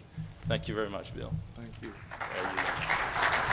I will cherish this always. Thank you very much. Now it is my pleasure to introduce Professor Harry Poulos. You all know that Harry Poulos is from Australia. So I did a little bit of research on Australia. Indeed, a few weeks ago, I decided to make a phone call to the man upstairs and now I have it from very good authority that the planet Earth came in a box. Someone took the Earth out of the box and drew the first map. It looked like this. What you didn't know is that that person dropped the Earth and did not read a very important sign on the box the sign said, this side up. And so now, after all these years, we can finally rectify this error and set the map straight like this. Despite this severe handicap of having to hang from his feet from over 50 years, Professor Poulos has had a remarkably successful career. He obtained his bachelor's and PhD degrees from the University of Sydney and graduated in 1965. He joined the Department of Civil Engineering in 1965 and became a professor of civil engineering in 1982, a position which he still holds. In 1989, he joined the geotechnical consulting firm of Coffey Partners International and is now a senior principal and Director of Technical Innovation of Coffey Geosciences. He has published three books and over 200 technical papers. He has been involved in a large number of consulting projects around the world and continues to be involved in funded research on power foundations. He has received a number of awards, including the 1995 ASCE's State of the Art Award, and the 1989 Rankine Lectureship. He is an honorary fellow of the Institution of Engineers in Australia, a fellow of the American Society of Civil Engineers, an elected fellow of the Australian Academy of Science and the Australian Academy of Technological Sciences and Engineering. In 1993, he was made a member of the Order of Australia for his services to engineering. The topic of Professor Poulos' Buchanan lecture is Foundation Settlement Analysis, Practice versus Research. Please welcome Professor Harry Poulos. Thank you very much, Dr. Briaud, and thank you very much, ladies and gentlemen, for coming here to listen to this lecture on such an inclement day. I'd firstly like to give my sincere thanks to Texas A&M for this great honour of giving the eighth Spencer Buchanan Lecture. I did, in fact, have many years ago the pleasure, the great pleasure, of meeting Professor Buchanan at an international conference, and so it's therefore uh, extremely pleasing to be able to give this lecture uh, that bears his name. As we come into the third millennium, I feel it's appropriate that perhaps we should take time out to try and consolidate the knowledge that we have accumulated in our relatively young discipline, particularly over the last 30 or 40 years. One of my concerns is that as practitioners, we are using routinely methods which were developed 30, 40, 50 years ago without really evaluating their applicability. At the time, they were techniques that I guess we used with engineering intuition. But over the past 30 or 40 years, there's been a tremendous amount of research done, and I think that in many cases, that research has not found its way into practice, and I don't believe that we have spent enough time evaluating some of the routine design tools that we have uh, been using. Hence, the, uh, the topic of my lecture is Foundation Settlement Analysis, Practice versus Research. And what I want to do here then is to evaluate a number of methods of settlement prediction uh, for various types of foundations. And in the end, what I want to try and do, perhaps rather boldly, is to assess whether some of these methods should be adopted or adapted or, as an extreme, discarded. This is a subjective view, and I think you will have to accept it as such, and it will be a view that I'll take from the point of view of a practitioner rather than uh, from the point of view of an academic. I focus on settlement prediction because, in fact, many years ago it was the subject of my PhD research.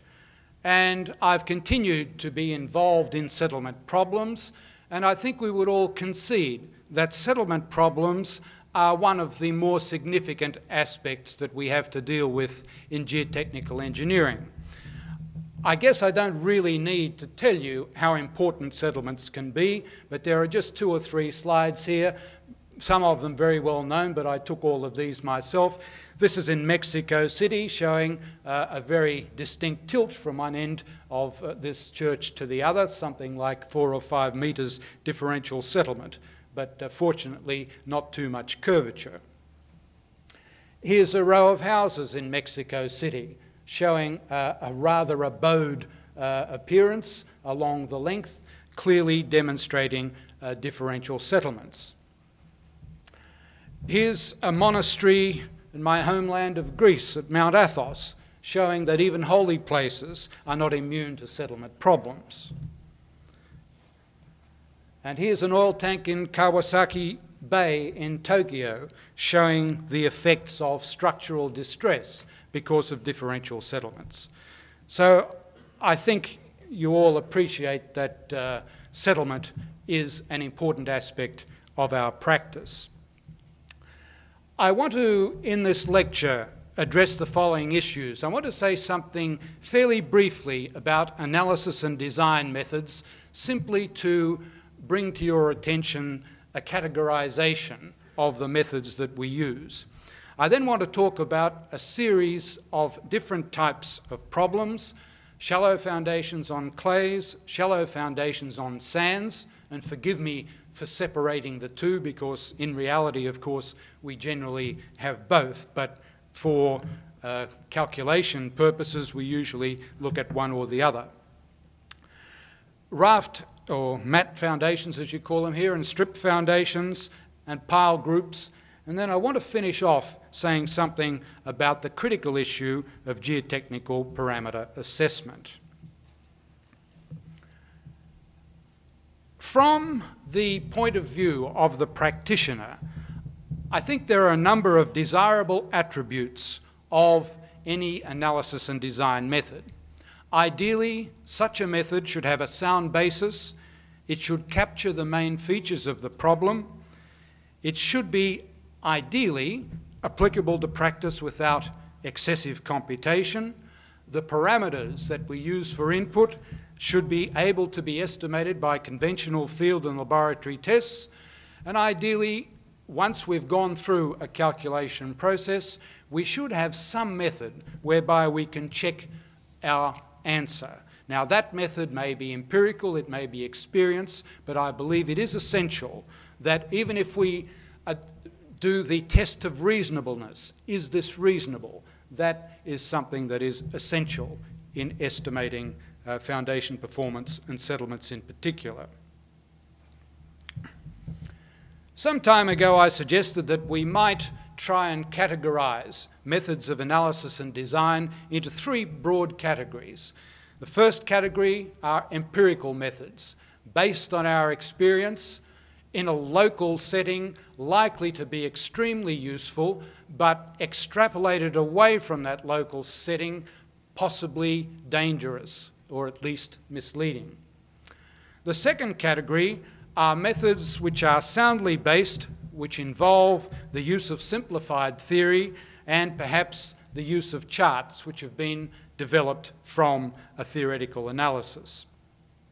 The third category, which we could subdivide if we wish into various grades, would be category three, those methods which rely on more advanced analysis and in turn try and, well, the, the single characteristic is that they are site specific so that you try and model the ground conditions perhaps more carefully than you would be able to with a simpler category 2 analysis. And you can go through from a simple soil representation in what I call category 3A, which might be an elastic layered medium for the soil, through to category 3C, where we try and use a sophisticated uh, constitutive model of soil. I think this is a useful framework for just trying to identify where our methods of analysis and design fall. And I think from the point of view, again, uh, of the practitioner, um, the category two methods are really those that are quite attractive because they generally can be done reasonably rapidly. If they're soundly based, you have a reasonable idea of the effects of variations in your input parameters and the uh, parameters that you require are not unduly complex and generally, ideally, have some physical meaning. So let me start by talking about shallow foundations on clay. One of the oldest problems in geotechnical engineering addressed by Terzaghi as far back as 1925 when he developed his classic one-dimensional method. That method went through a series of evolutions in the 1950s, it was modified to include immediate settlements. Skempton and Bjerrum modified it to allow for three-dimensional effects. And then there were other developments, parallel developments, some of which occurred here in the United States, uh, some of which occurred in Europe, which involved the application of elastic theory, subsequently the modification of elastic theory to allow for non-elastic strains, and then, of course, in the past 20 to 30 years, we've had the ability to model continua uh, and soil profiles by the use of elastic and more recently nonlinear finite element analyses.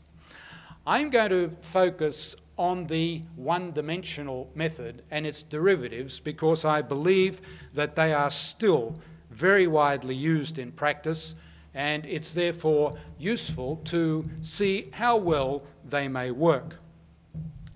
What we have here are the results of some calculations based on ideal two-phase poroelastic theory, uh, which sounds very impressive, but essentially uh, it's just looking as, at soil as a two-phase uh, material uh, when it's saturated. What we're plotting here is the ratio of the, what I call the oedometer settlement, the one-dimensional settlement that you calculate from Terzaghi's theory, divided by the correct three-dimensional settlement. And on the horizontal axis, we have for this circular footing the ratio of the thickness of the soil layer to the radius of the footing. And then we have on the other side the inverse, the radius on uh, thickness, so that we can cover the full range of uh, layer thicknesses. This set of curves here is for a soil with a constant modulus. This uh, uh, set of solutions here is for a soil whose stiffness or modulus increases linearly with depth. Without spending too much time on this, we have different uh, curves for different values of the fundamental drain-Poisson's ratio of the soil. And if we have Poisson's ratios of the soil of the order of 0.3 or less, and this is a not uncommon value, then even for very deep layers, the one-dimensional settlement gives us settlements, uh, the one-dimensional analysis gives us settlements within 20% of the theoretically correct answers. The only time you really stray badly is where you have uh, a, a, high value of drain-Poisson's ratio, and this is likely to occur for relatively soft clays. When we have an increasing stiffness with depth, in fact, the one-dimensional analysis is even better than it is for a uniform soil. So that's rather good news in that the methods that we have been using uh, as routine methods by and large, tend to give us results which, according to uh, more recent theory, are in reasonable agreement.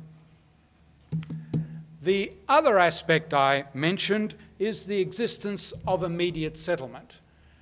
It was recognised, I'm sure, by Terzaghi, uh, but was quantified uh, in the mid-1950s by Skempton and his co-workers who suggested that uh, as soon as you put load on a foundation under a true three-dimensional circumstance, you will get shear deformations, that you don't only have deformations due to consolidation, but you have a shear component of deformation which occurs immediately on application of the load. Again, we can look at this theoretically to see how important immediate settlement is as a fraction of the total final settlement. So what we plot here is the immediate settlement on the final settlement against the ratio of layer thickness to radius of the, uh, uh, of the footing. And what we find is that for a typical Poisson's ratio in the mid uh, 3s, 0.35 for example, that for relatively deep layers, immediate settlement may actually constitute 50% or more of the final settlement. The ratio of immediate to final settlement is less when the soil profile uh, increases in, in stiffness with depth. So clearly it would seem that we can't ignore immediate settlements because in stiff clays they may constitute something like 40 to 50% typically of our total final settlement, although for soft clays they may constitute perhaps 20 to 30% in a typical circumstance. So when we look at the conclusions that we can draw from this comparison, I think we can say that in the first instance, a one-dimensional analysis will give us a reasonable estimate of the total settlement for stiff clays. And if we want the consolidation settlement, then perhaps we uh, subtract from that calculated settlement the immediate settlement to get the consolidation settlement. When we deal with soft clays, the oedometer or one-dimensional settlement is a better estimator of the consolidation settlement. And we need to add independently the immediate settlement to get an answer which is more in line with what uh, experience tells us and also what theory tells us. The other thing that we find is that immediate settlement as a proportion of the total settlement is rather more important for stiff clays than it is for soft clays. And finally, I have a note here that when we are using elastic theory to estimate immediate settlement, because uh, we have to use some theory such as that to estimate immediate settlement. One dimensional theory says, in fact, there is no immediate settlement, so it's not much use. We should take into account local yield effects, that is, the possibility that uh, under the working load level, some parts of our soil mass may actually have reached their full uh, shear strength. And so we have actually a nonlinear uh, immediate settlement versus load curve. And there are techniques that have been published some years ago for that. We can look at a case history which was published some years ago by two of my Australian colleagues, Moore and Spencer, uh, to see how well in practice various methods of settlement work. And this is a, a, building in South Melbourne in Victoria, which was founded on something like 20 metres of relatively soft clay. And uh, for his uh, PhD thesis, Spencer did a whole series of laboratory tests to characterise the soil deformation properties. So there were one-dimensional tests of various types done, there were stress path tests done, there were other triaxial tests done to measure undrained and drained modulus and Poisson's ratio values. They had for this building uh, long-term settlement records and so they were able to compare measured and predicted settlements. What they observed, uh, the estimated settlement, uh, was something like almost 800 millimetres, which is well over two feet uh, in, in your terms. And the predictions based on the different methods range from about 400 millimetres to just over 700 millimetres. So in fact, all of the methods under-predicted the settlements. The interesting thing, of course, is that the one-dimensional prediction depends not only on the use of the one-dimensional method, but it depends on how you assess the consolidation characteristics of the soil. If you use a conventional one-dimensional oedometer test, uh, Moore and Spencer got 508 millimetres. If they did an oedometer test with back pressure, they got 404. If they did a constant rate of strain test, they got again 404. So it's not only the method, it's the parameters and I'm afraid I shall reinforce that statement continuously through the remainder of this lecture. Skempton and Bjerrum gave a better prediction, um, and this was independent. I had nothing to do with this, but the method that uh, the late Professor Davis and I developed gave uh, the closest prediction, and Lambe's stress path method was also quite good. So what that indicated were two things. One was that a solely one-dimensional analysis under predicted settlements uh, in this soft clay situation. And that is exactly what we conclude from the theoretical um, analysis that was uh, presented to you just a few moments ago. The second and important point is that the method of estimating the soil parameters in conjunction with um, a particular method is important. So if we then just reflect on one-dimensional settlement analysis, I believe that the conventional method can be adapted and should be adapted to include immediate settlement and to include in the estimation of immediate settlement the effects of local yield. I'd also like to say something about the rate of settlement of foundations because this is often a very important issue. If we use one-dimensional methods of settlement analysis, the uh, classic Terzaghi theory, we are implicitly assuming that dissipation of water occurs only vertically to permeable boundaries. In reality, of course, I think we all recognise that not only does the water go up and down, but it also goes sideways. And the consequence of that is that the dissipation of pore pressures uh, will be uh, more rapid uh, than a one-dimensional analysis would suggest.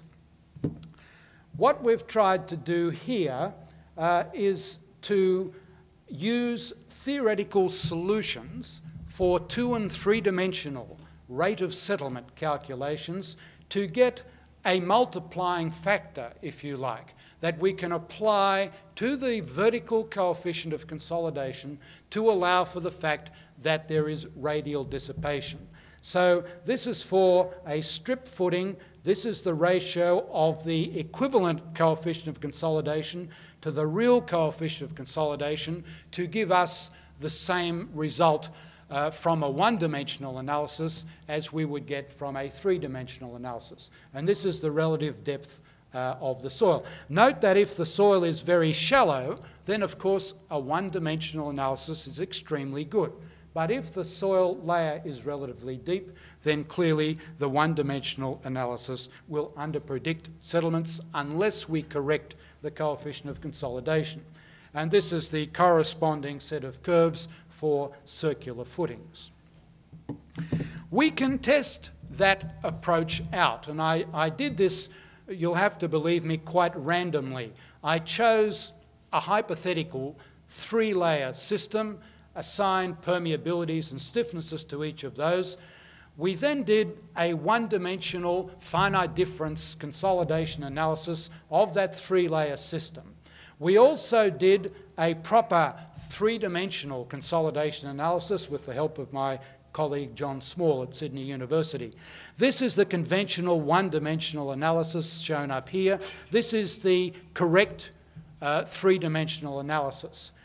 If we correct this one-dimensional analysis on the basis of the correction factor I showed you in the previous slides, we get this uh, chain dotted curve here, which, while it's not perfect, is in a lot better agreement than is the true one-dimensional analysis. So I believe then, in terms of rate of settlement, that if you are concerned about this and if you don't have a proper three-dimensional rate of settlement uh, uh, analysis capability, you can adapt one-dimensional consolidation analyses for rate of settlement, but you need to modify the coefficient of consolidation uh, to allow for three-dimensional effects. And then the results will agree, hopefully, better with a proper three-dimensional analysis than your original analysis. I want to say something very briefly about creep and secondary consolidation. It's almost like the, the black sheep of the settlement family. It's the thing that we know is there, but often we, we don't want to recognise it. It's a nuisance.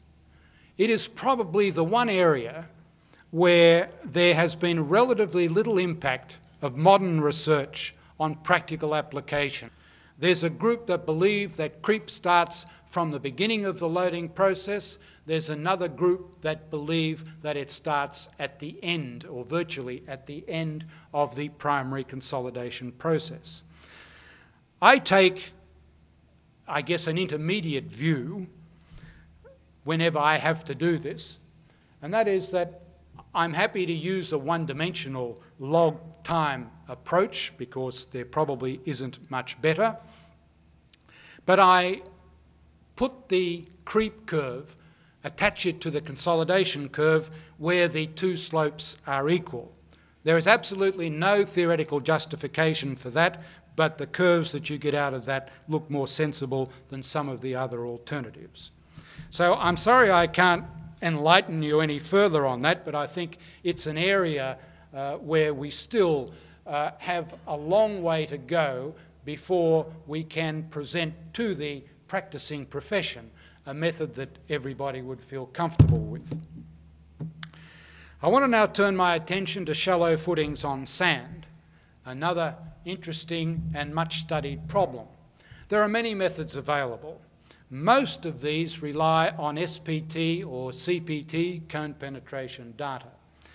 And there have been a number of interesting studies made on the various methods.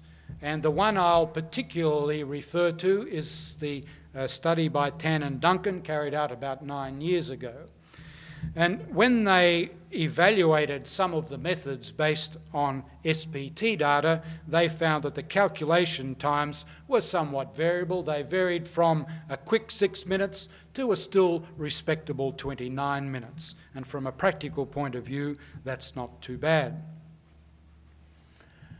And what Tan and Duncan did was that they categorized the methods of settlement analysis by two measures. One was what they called reliability, which is the percentage of predictions which were um, greater than the, uh, the measured values.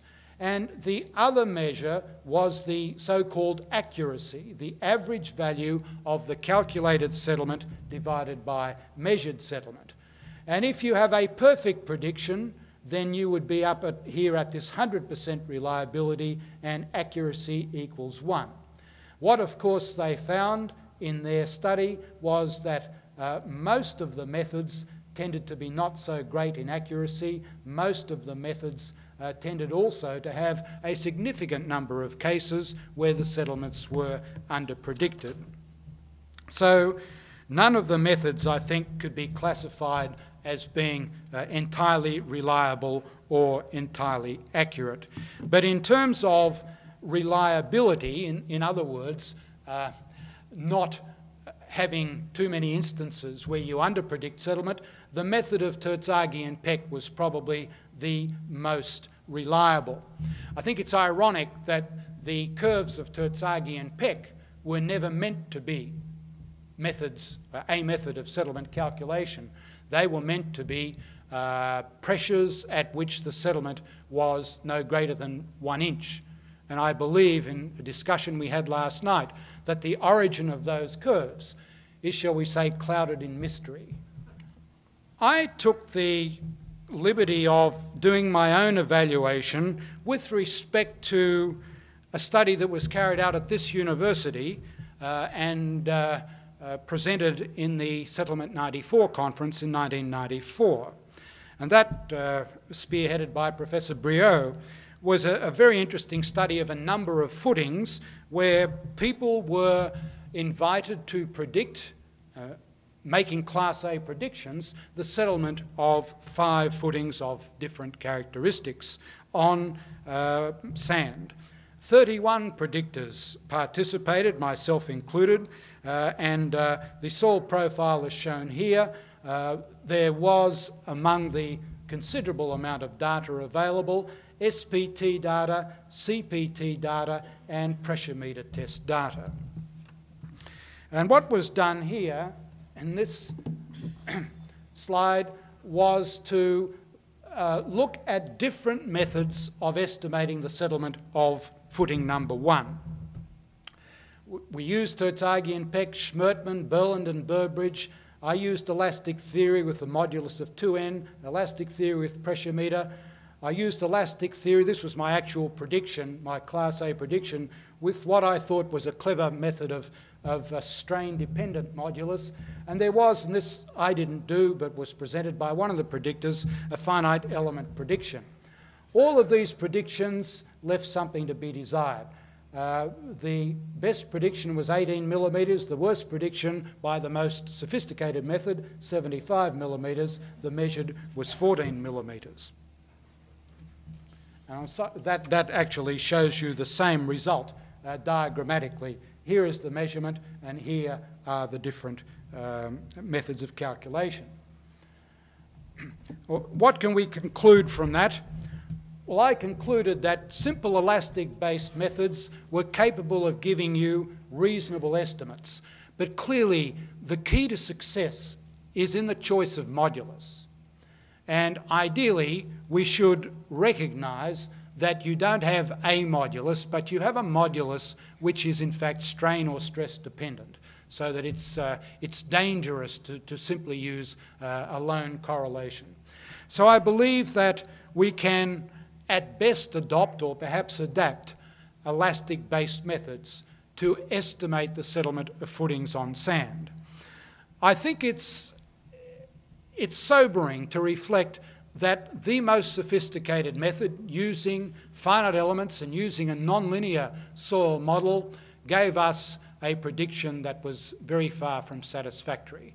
So clearly, the most sophisticated method will not necessarily give you the best answer. I want to now turn to raft and strip foundations. and here, our focus is usually on settlement, differential settlement, and for the design uh, of the strip or mat uh, moments and shears. And if we are to categorise the methods by which this type of foundation is analysed for these characteristics, we can probably divide the approaches into two broad classes. Those which use subgrade reaction or Winkler theory, uh, and those which use elastic continuum theory. The subgrade reaction theory is historically the uh, oldest and probably the most popular method. It is much loved by structural engineers because the soil can be represented simply by springs, even nonlinear springs. But is it really a good model? Is it reliable? Does it tell us what in fact happens? I would suggest to you that the Winkler or subgrade reaction soil model has a number of deficiencies. You have to recognize that such a model will only deflect if it is loaded. So only points which are loaded will deflect. Such a material only responds to loading in the direction of loading. So in this sort of material, in the classic Winkler uh, material, if you load vertically, you only get vertical displacements. You get no horizontal displacements. The modulus of subgrade reaction is not a fundamental parameter. The little k value that you see so widely used in pavement work and in foundation work is a size-dependent parameter. It has caused legal cases of significant magnitude because people didn't realise that it did not apply to all sizes of foundation. And it cannot allow for stress transmission uh, because it can't really model that. It can't look at proper soil layering. What I'm going to show you is a series of three diagrams representing solutions for the bending moment at the, uh, well, the bending moment distribution in a strip footing uh, with different types of loading. This is a strip footing on an ideal uh, homogeneous support. On the horizontal axis, we have the distance from the edge to the centre, because this is symmetrical loading, and here we have the bending moment. And here we have three different stiffnesses of raft, uh, relative stiffness, a very flexible raft, a moderately flexible, and a fairly rigid raft. What we have here are two solutions. The full line is the Winkler solution, the dotted line is the continuum solution. When we have a single central point load, we get very good agreement in the bending moment distribution. And you might say that is terrific. Therefore, Winkler theory is good. However, if you now consider three loads, the agreement is not so good. The continuum results give you higher positive moments and lower negative moments. And if you take that further and look at five loads, now you get a stark contrast. And I've only done this for one stiffness, a fairly stiff. What you see is that the Winkler method gives you a very good representation of localized effects, the peaks here, but it doesn't give you the overall dishing effect. So if you're using this for a big mat foundation, you're going to be missing out on that very important overall dishing effect, which contributes substantially to the bending moments in the raft. So if you used, in this particular case, Winkler theory to design the raft, you would have a bending moment of the order of 1 here, but your true bending moment is about 2.2 or 2.3. So I think we have to be very careful about that type of um, foundation, we, we, uh, foundation representation, and I would suggest that unless you are focusing on localized effects, then you should perhaps consider not using the Winkler analysis because it may mislead you. I should just say here, although it's somewhat out of context, that the Winkler approach, through its various forms and into the PY approach, has been used very, very successfully for analysing laterally loaded piles. And I think many of you will see that as a routine approach. And it is successful because a laterally loaded pile is a very concentrated system. You have loading concentrated at one point, and as you saw from that first slide, when you have concentrated loading, the localized effects are very well reproduced by the simple theory. But if you have more uniform loading, then you may be in trouble.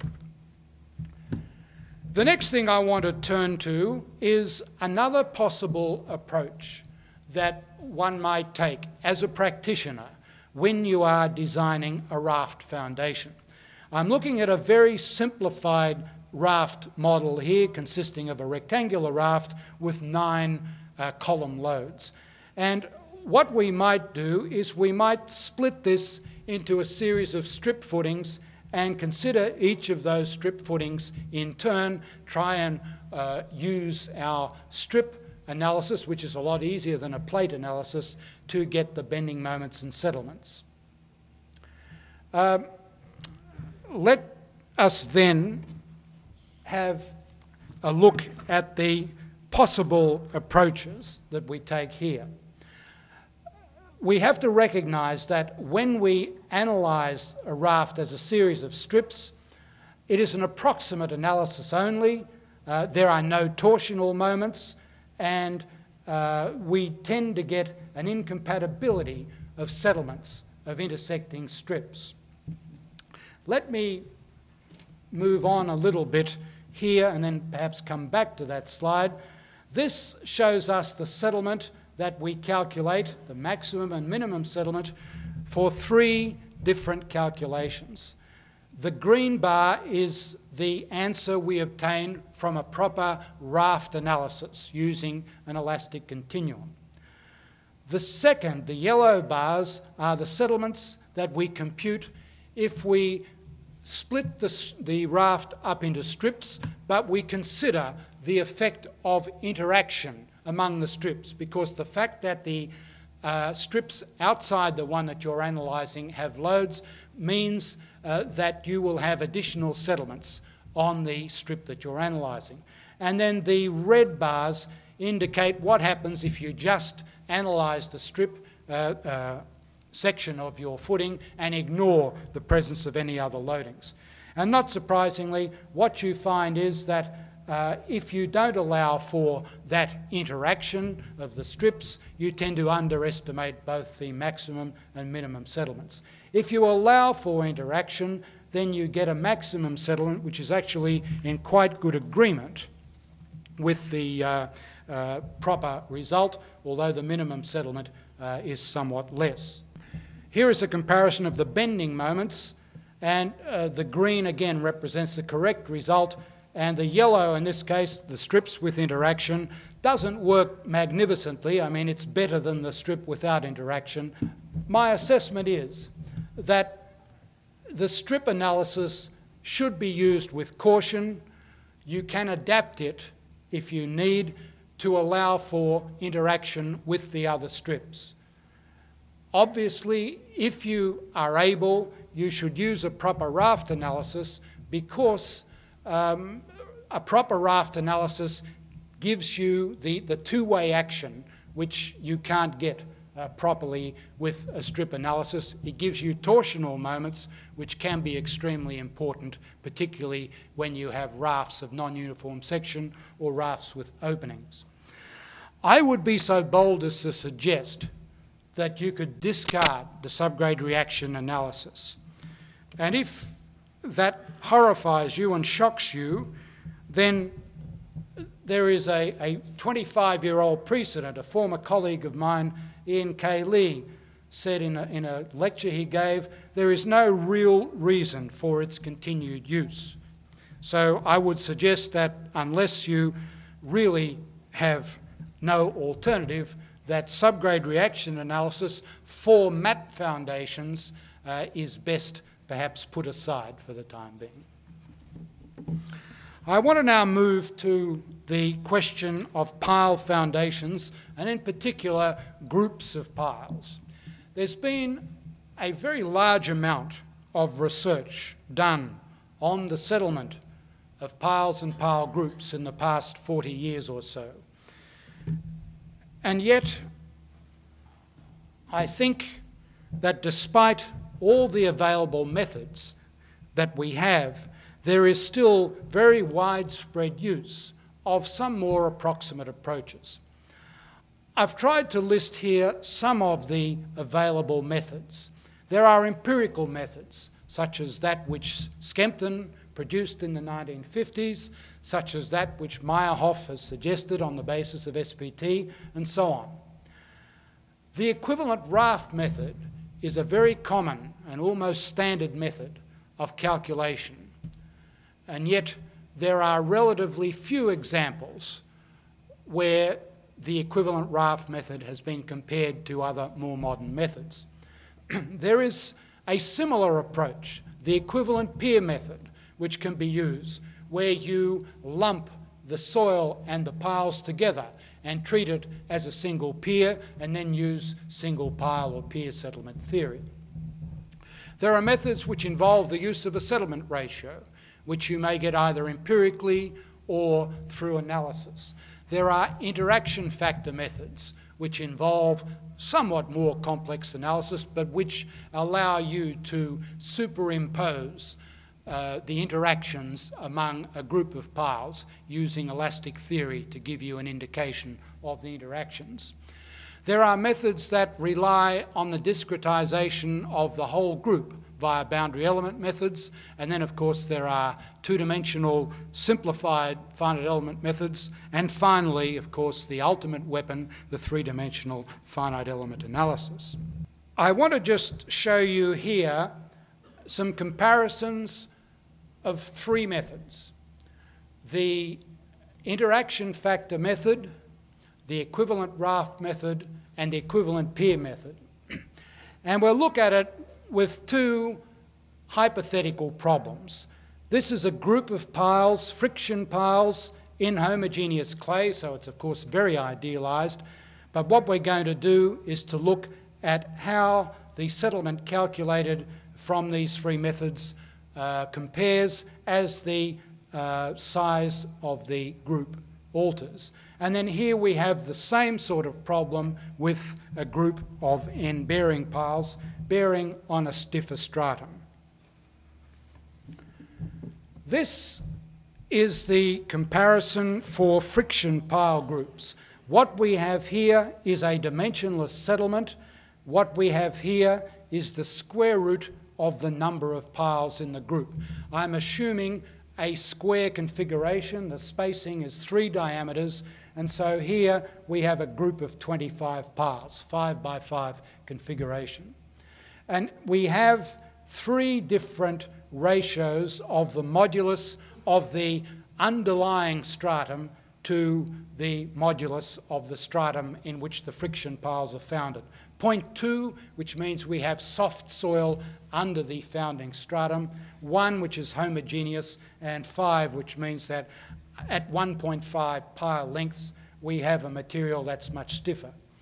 The good news is that if we take as our benchmark analysis what is called here the DEF-PIG analysis, that's the interaction factor analysis, that is the least approximate of the approaches considered.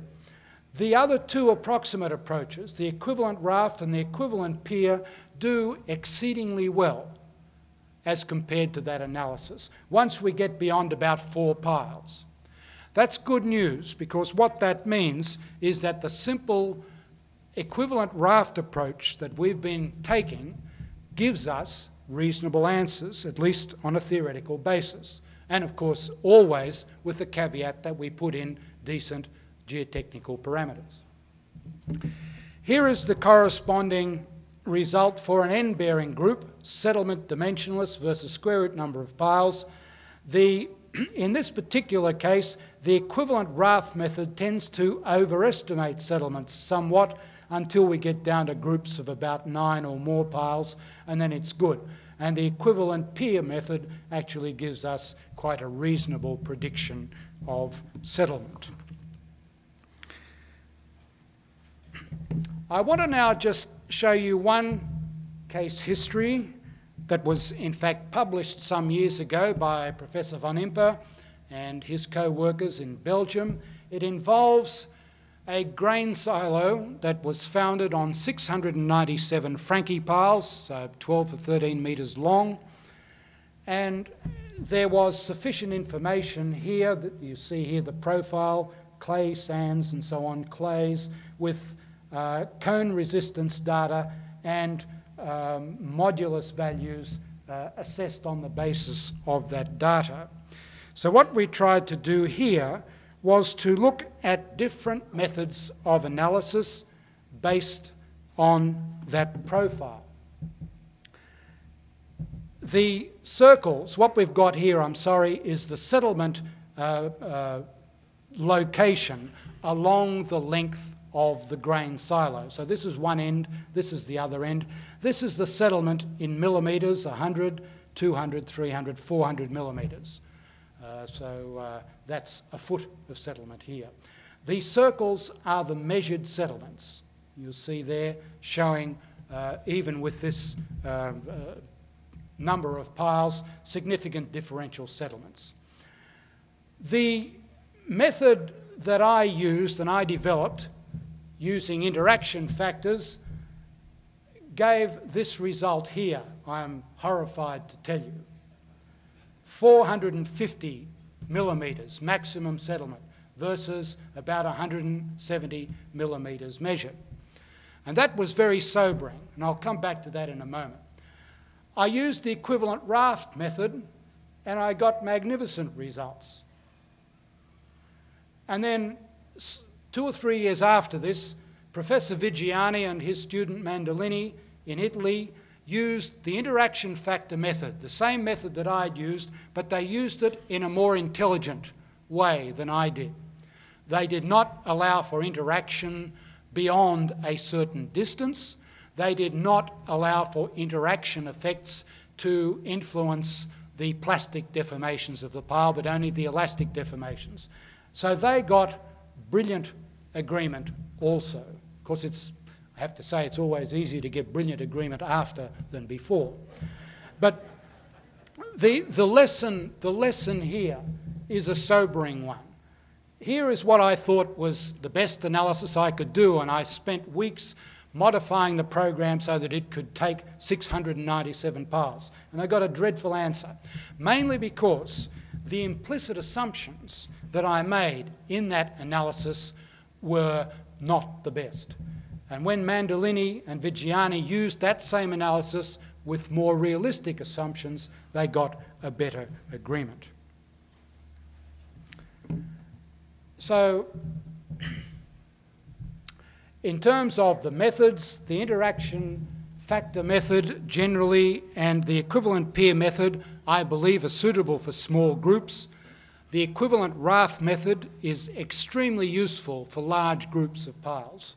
And I always now do a check calculation with the equivalent raft method for any computer analysis I do. Because when you draw it out to scale, particularly for large foundations, what you find is that even if the piles are 20 or 30 metres long, if your foundation is 100 metres long, those piles are relatively short in relation to the size of the foundation, so that the equivalent raft method implicitly is a sensible one. I also issue a caution when you're using the interaction factor method for large groups that errors compound. If you, and what happened here was you go around and you do an analysis and you add 696 additional settlements to your single pile settlement. And you only need small errors in 696 numbers and you get a big error at the end. And I think I would suggest to you, if you are into this sort of thing, that the approach that Mandolini and Viggiani adopted is a very good one. So overall, in terms of assessment, I believe that we can adopt equivalent raft and equivalent pier methods for overall settlement calculations. I believe that we can adapt interaction factor method uh, calculations for detailed analyses, but we should make sure that we apply interaction only to elastic settlements and not to the local plastic settlements. We should also ensure that we cut off our interactions at a spacing between piles of about a pile length or so, because beyond that, in reality, the interaction between piles is small. I now want to say something very briefly about the assessment of geotechnical parameters. I don't have time to go into this, uh, but the fact that I am not treating it in detail does not mean that I don't believe that this is, if anything, the most critical aspect in settlement prediction. I believe that settlement predictions are far more sensitive to geotechnical parameters and site characterisation than they are to the method of analysis. And I think here I echo the thoughts that Bill Marcuson expounded uh, an hour or so ago. That being the case, you have to recognise that a more sophisticated approach is not always better because it doesn't matter how brilliant in principle your analysis is, if the parameters are inappropriate, then your result is not acceptable. I'd like to suggest some maxims for assessing parameters, things that we should bear in mind when we are doing practical settlement calculations. The parameters that we use to describe our simple soil models, elastic models, plastic models, are not necessarily constants. They are fitting parameters. They vary with all sorts of things. Stress state, stress level, stress condition, and so on. We should therefore assess these simplified parameters for appropriate stress paths. And we should be cautious when using elastic theory. We should distinguish between undrained and drained parameters. We use undrained parameters when we're estimating settlements. We use drain parameters when we're uh, immediate settlements. We use drain parameters when we're estimating final settlements. Often, unfortunately, in the literature, the distinction between undrained and drained parameters, obviously for clays, tends not to be made as often as it should. And when you're using elastic theory, it is not appropriate in general to use the same parameters for different foundation types because modern research has indicated that the stiffness of a soil is dependent on the level of strain. And what you find when you look at typical levels of strain below foundations or adjacent to foundations is that they differ significantly.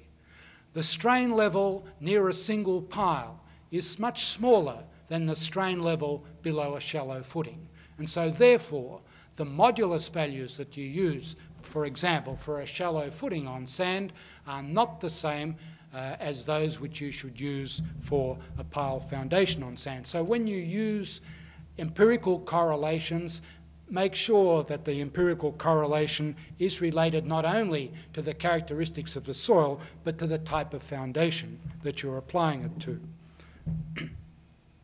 when you're doing in situ testing, if you should have that luxury, and unfortunately it's all too rare a luxury, at least in, in my practice, you should try and follow similar stress paths to the foundation.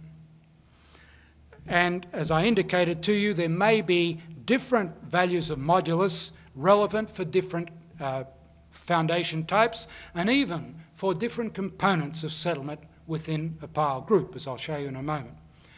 Empirical correlations, I believe, are certainly valuable, but they depend on both soil and foundation types, and clearly indiscriminate use may give poor results. Let me just illustrate in a very simple-minded way the the problem that we face as practitioners.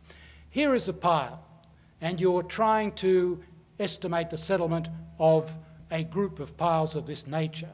What you have adjacent to the pile is a layer of soil which is highly disturbed due to installation, but it's reconsolidated. So it has certain characteristics.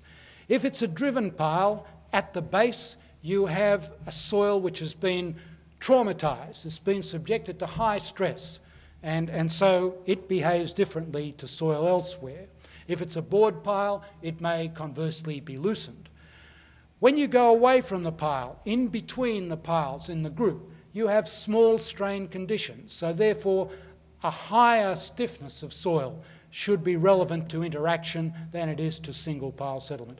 And if you're looking at the effects of uh, deep layers, uh, then again, you may have different values of modulus appropriate there.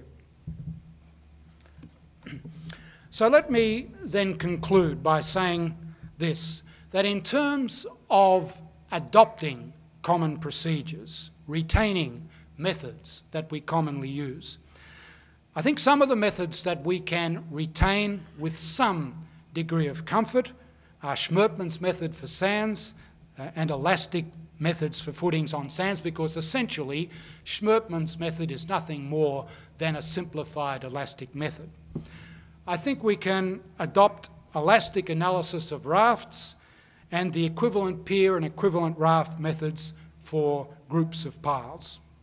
The equivalent pier method is probably better for small groups, the equivalent raft method for larger groups, and interaction factor methods for small groups or modified uh, in the way I've suggested for larger groups. In terms of methods that we may need to adapt, we may need to modify our current approach. The one-dimensional method for footings on clay, I think we need to make sure that we make allowance for immediate settlements. The one-dimensional method for rate of settlement analysis, we should make allowance for three-dimensional drainage effects. Linear creep versus log time relationship.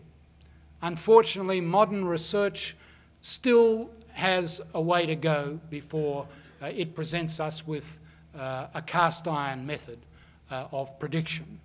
But we have to adapt that to tack on the creep settlement time curve to our uh, consolidation settlement time curve. I believe we can adapt the strip analysis for rafts if we have to, but we need to allow for interaction. And the interaction factor method for large pile groups needs to be adapted to make allowance for uh, the, uh, uh the limited interaction that you have. I think it's probably time to discard methods for shallow foundation and raft analyses based on subgrade reaction theory. These can be misleading. They've even been known to give us bending moments of completely different sign and different magnitude to elastic-based theory. The parameters are not fundamental and we are talking about dimension-dependent parameters. And as I said before, that leads to trouble. I'd like then to finally conclude by making this quotation from Terzaghi in a building research congress in 1951, 49 years ago. Terzaghi said then, foundation engineering has definitely passed from the scientific state into that of maturity one gets the impression that research has outdistanced practical application and that the gap between theory and practice still widens. So I believe that the International Society of Soil Mechanics and Geotechnical Engineering should set as one of its key goals in this next decade trying to assess the appropriateness of routine practice procedures and of instilling into routine practice some of the more relevant approaches that have been developed from modern research. Thank you. Uh, we've got a question session here. Uh, questions from the audience? Directed to uh, Dr. Poulos. Is that you? No, John. Not, not a question, a statement.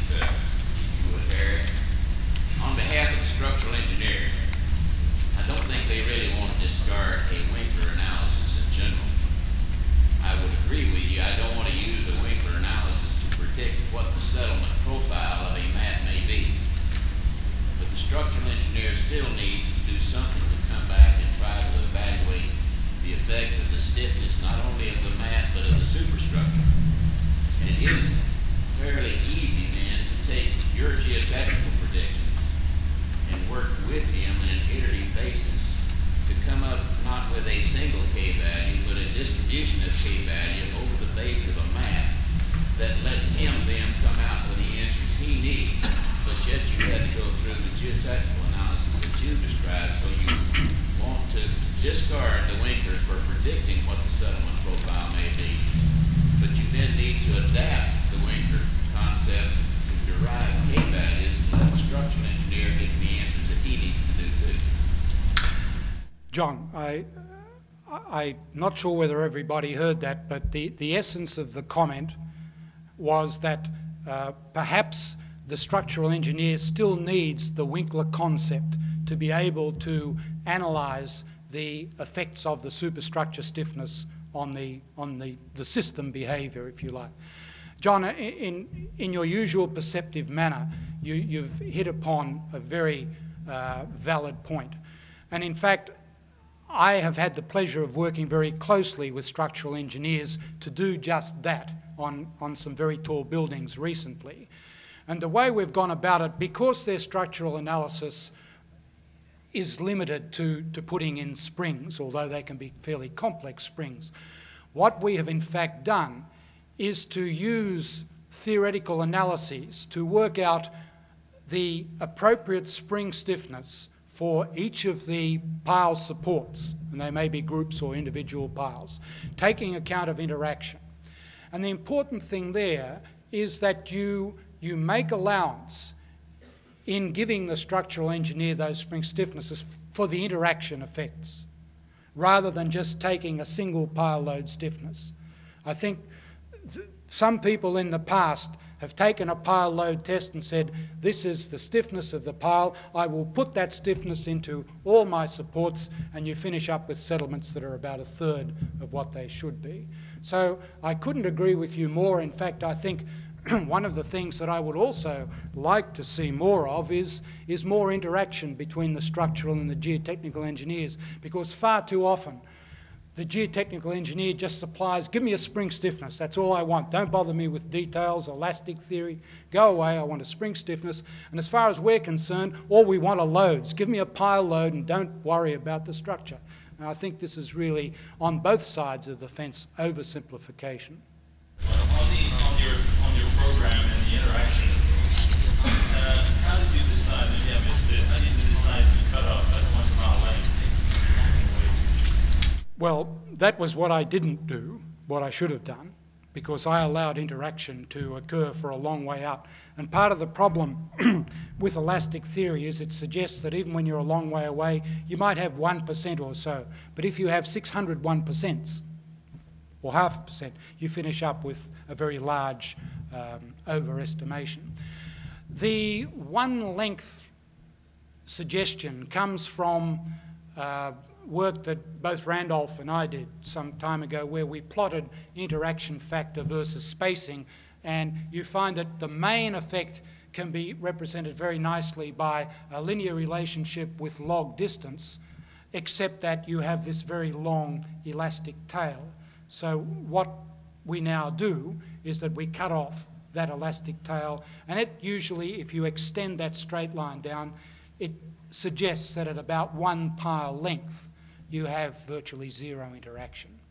And that's uh, a much, I think, more realistic approach because certainly interactions are damped out, if you like, uh, much earlier than elastic theory suggests. It doesn't matter so much for small groups, and that's why I've, uh, in the later part, I emphasise the difference between small groups where you may have eight or nine piles in a group where the spacings are relatively close. You get quite a good uh, representation of interaction there. But when you've got hundreds of piles, the remote piles shouldn't really be influencing the effect of the piles close in here. I have another question. what about some of those issues? Uh, you said that we should improve the existing techniques. Uh, some of the issues that seem to have been accepted but get off some uh, challenge, uh, things like effect or spread or the scale effect or, or on. What do you think about some of those issues that are related Okay, I, I think I've been focusing on settlements, but if you start talking about the effects of depth of embedment and so on, and uh, uh, I think some of the data that you've obtained here at your test site gives results which would suggest that scale effects and size effects that theory says should be present in bearing capacity are not really there. And that at first would appear alarming to a practitioner. And I think it's these sorts of basics that we need to explore more carefully.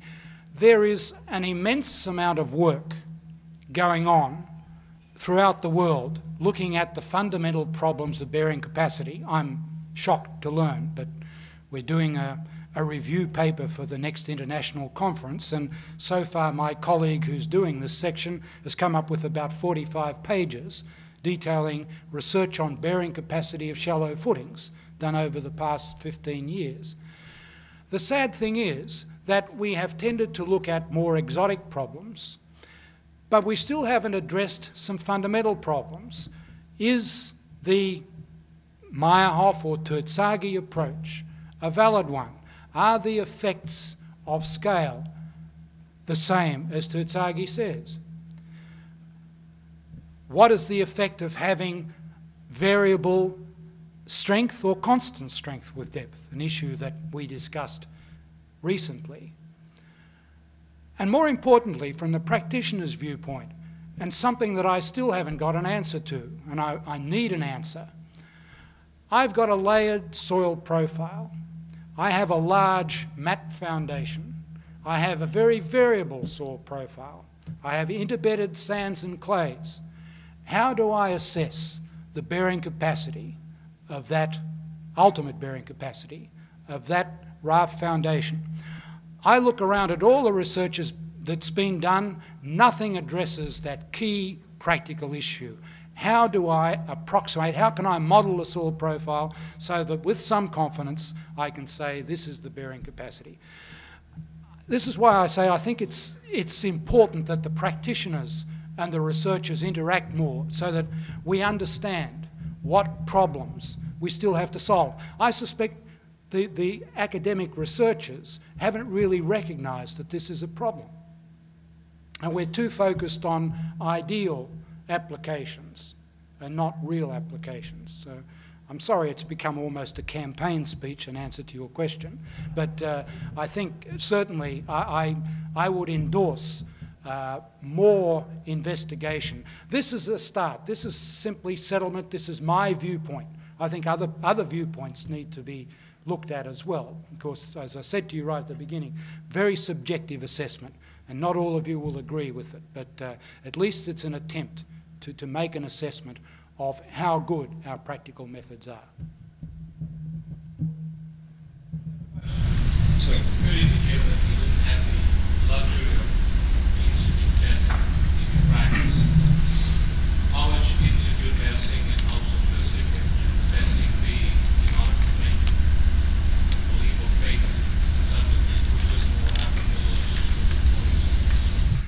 Right.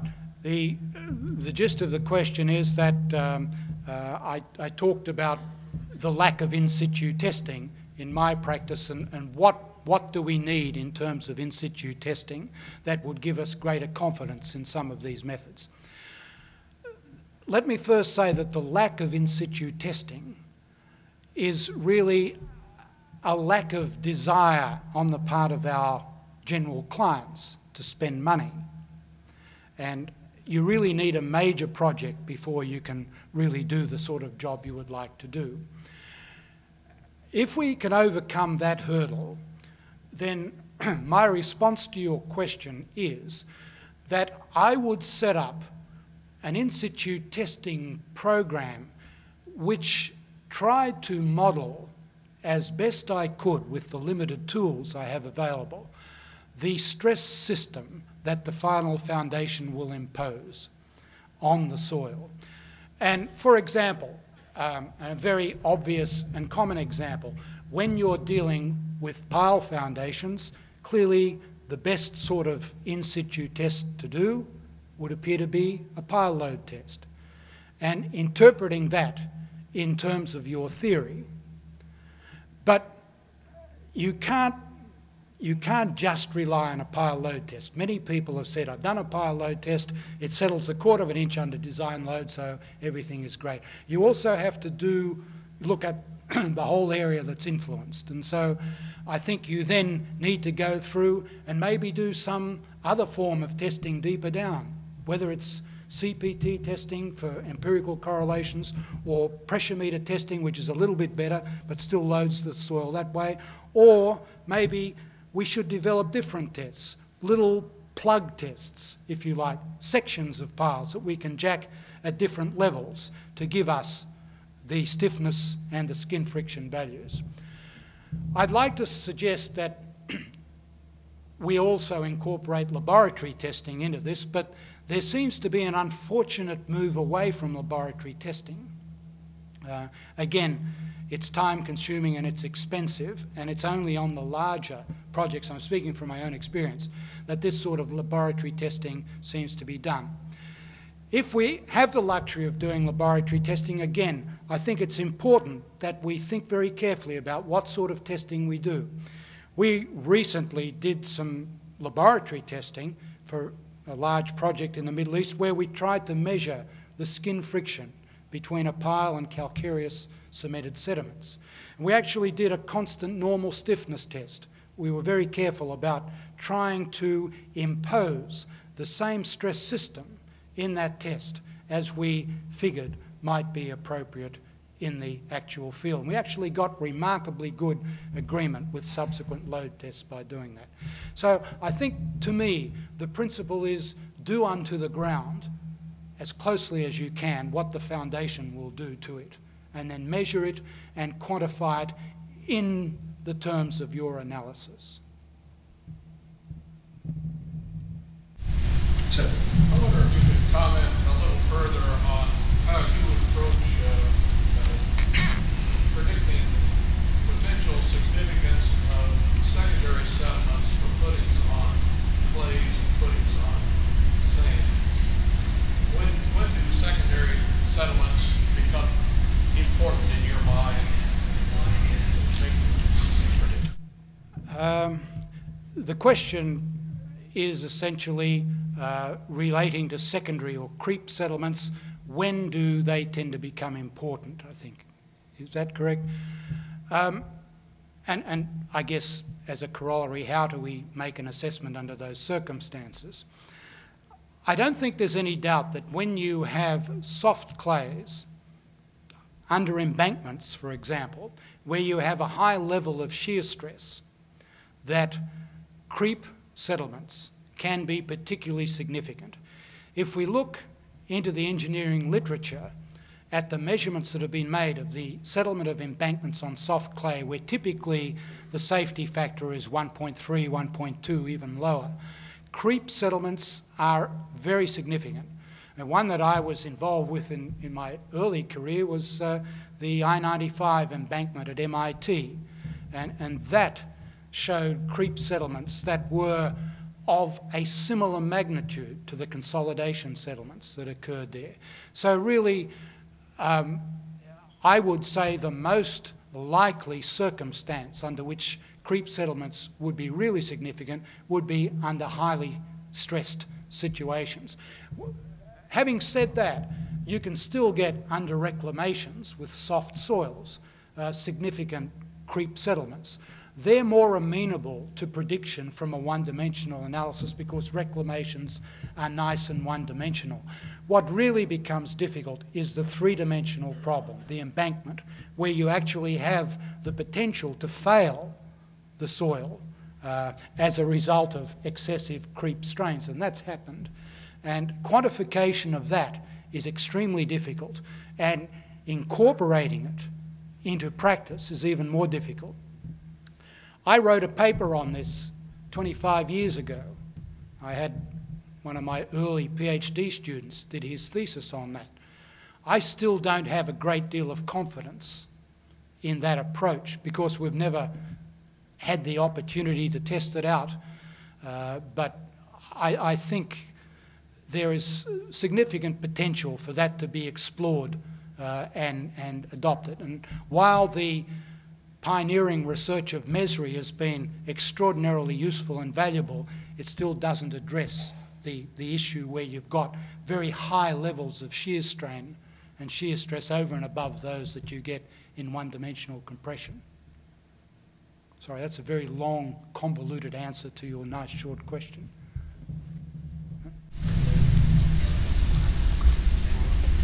Yeah, question.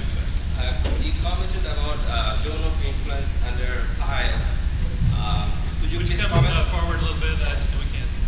If you, uh, you commented about zone of influence in settlement calculation under piles. If you would please comment on uh, zone of influence under uh, shallow foundation like spread footings. What would be the zone of spacing between the spread footing when we should come, we would be concerned about the settlement of between the adjacent footings? The, uh, I think the, the question relates to the interaction between uh, adjacent foundations, if I understand. Yes, yes. Um, if you, if you believe elastic theory, then the settlements, particularly in a soft clay situation, tend to be uh, of the footing, due to the footing away from the footing, tend to die out at about one width or thereabouts, maybe one and a half widths. There is, and I think perhaps it's important that when we do calculations, we, we take account of all of the footings. Part of the problem I've, I've found, and, and I see it with some of my junior engineers, is that they look at each footing as a thing in itself. And it's got a load and they calculate a settlement. It's got a load and they calculate a settlement. Now, I've been involved in a, a case in Hong Kong right now where, in fact, there are four high rise buildings with a footprint of 35 metres that are five metres apart. Those buildings are tilting seriously, and it's not necessarily due to foundation defects. It's due to partly to interaction effects. When you take those interaction effects into account, you get, yeah, it tilts, which is not surprising when you stand back and look at it. But one of the, and this perhaps is, is one of the, the practice syndromes that for whatever reason we've got into, that we don't always consider the fact that, yes, uh, there is an interaction between this footing and that footing. Right? And I, I think it can be extremely important and it can in fact lead to problems if unperceived, which uh, are quite serious later on because I have to say in this case in Hong Kong, um, there has to be corrective measure taken for the tilt, which will involve quite bold and dramatic uh, structural adjustment of the foundations. Thank you very much, uh, Professor Poulos. I'm uh, currently working on a project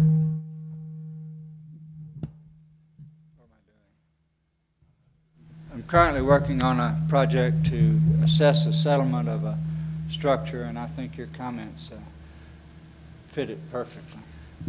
We'd like to present you with this plaque, which is, it reads in part, it recognizes uh, Professor Harry G. Poulos as the eighth Buchanan Lecturer and thanks him for delivering his lecture entitled Foundation Settlement Analysis, Practice versus Research, and of course, the honorarium. Thank you very much.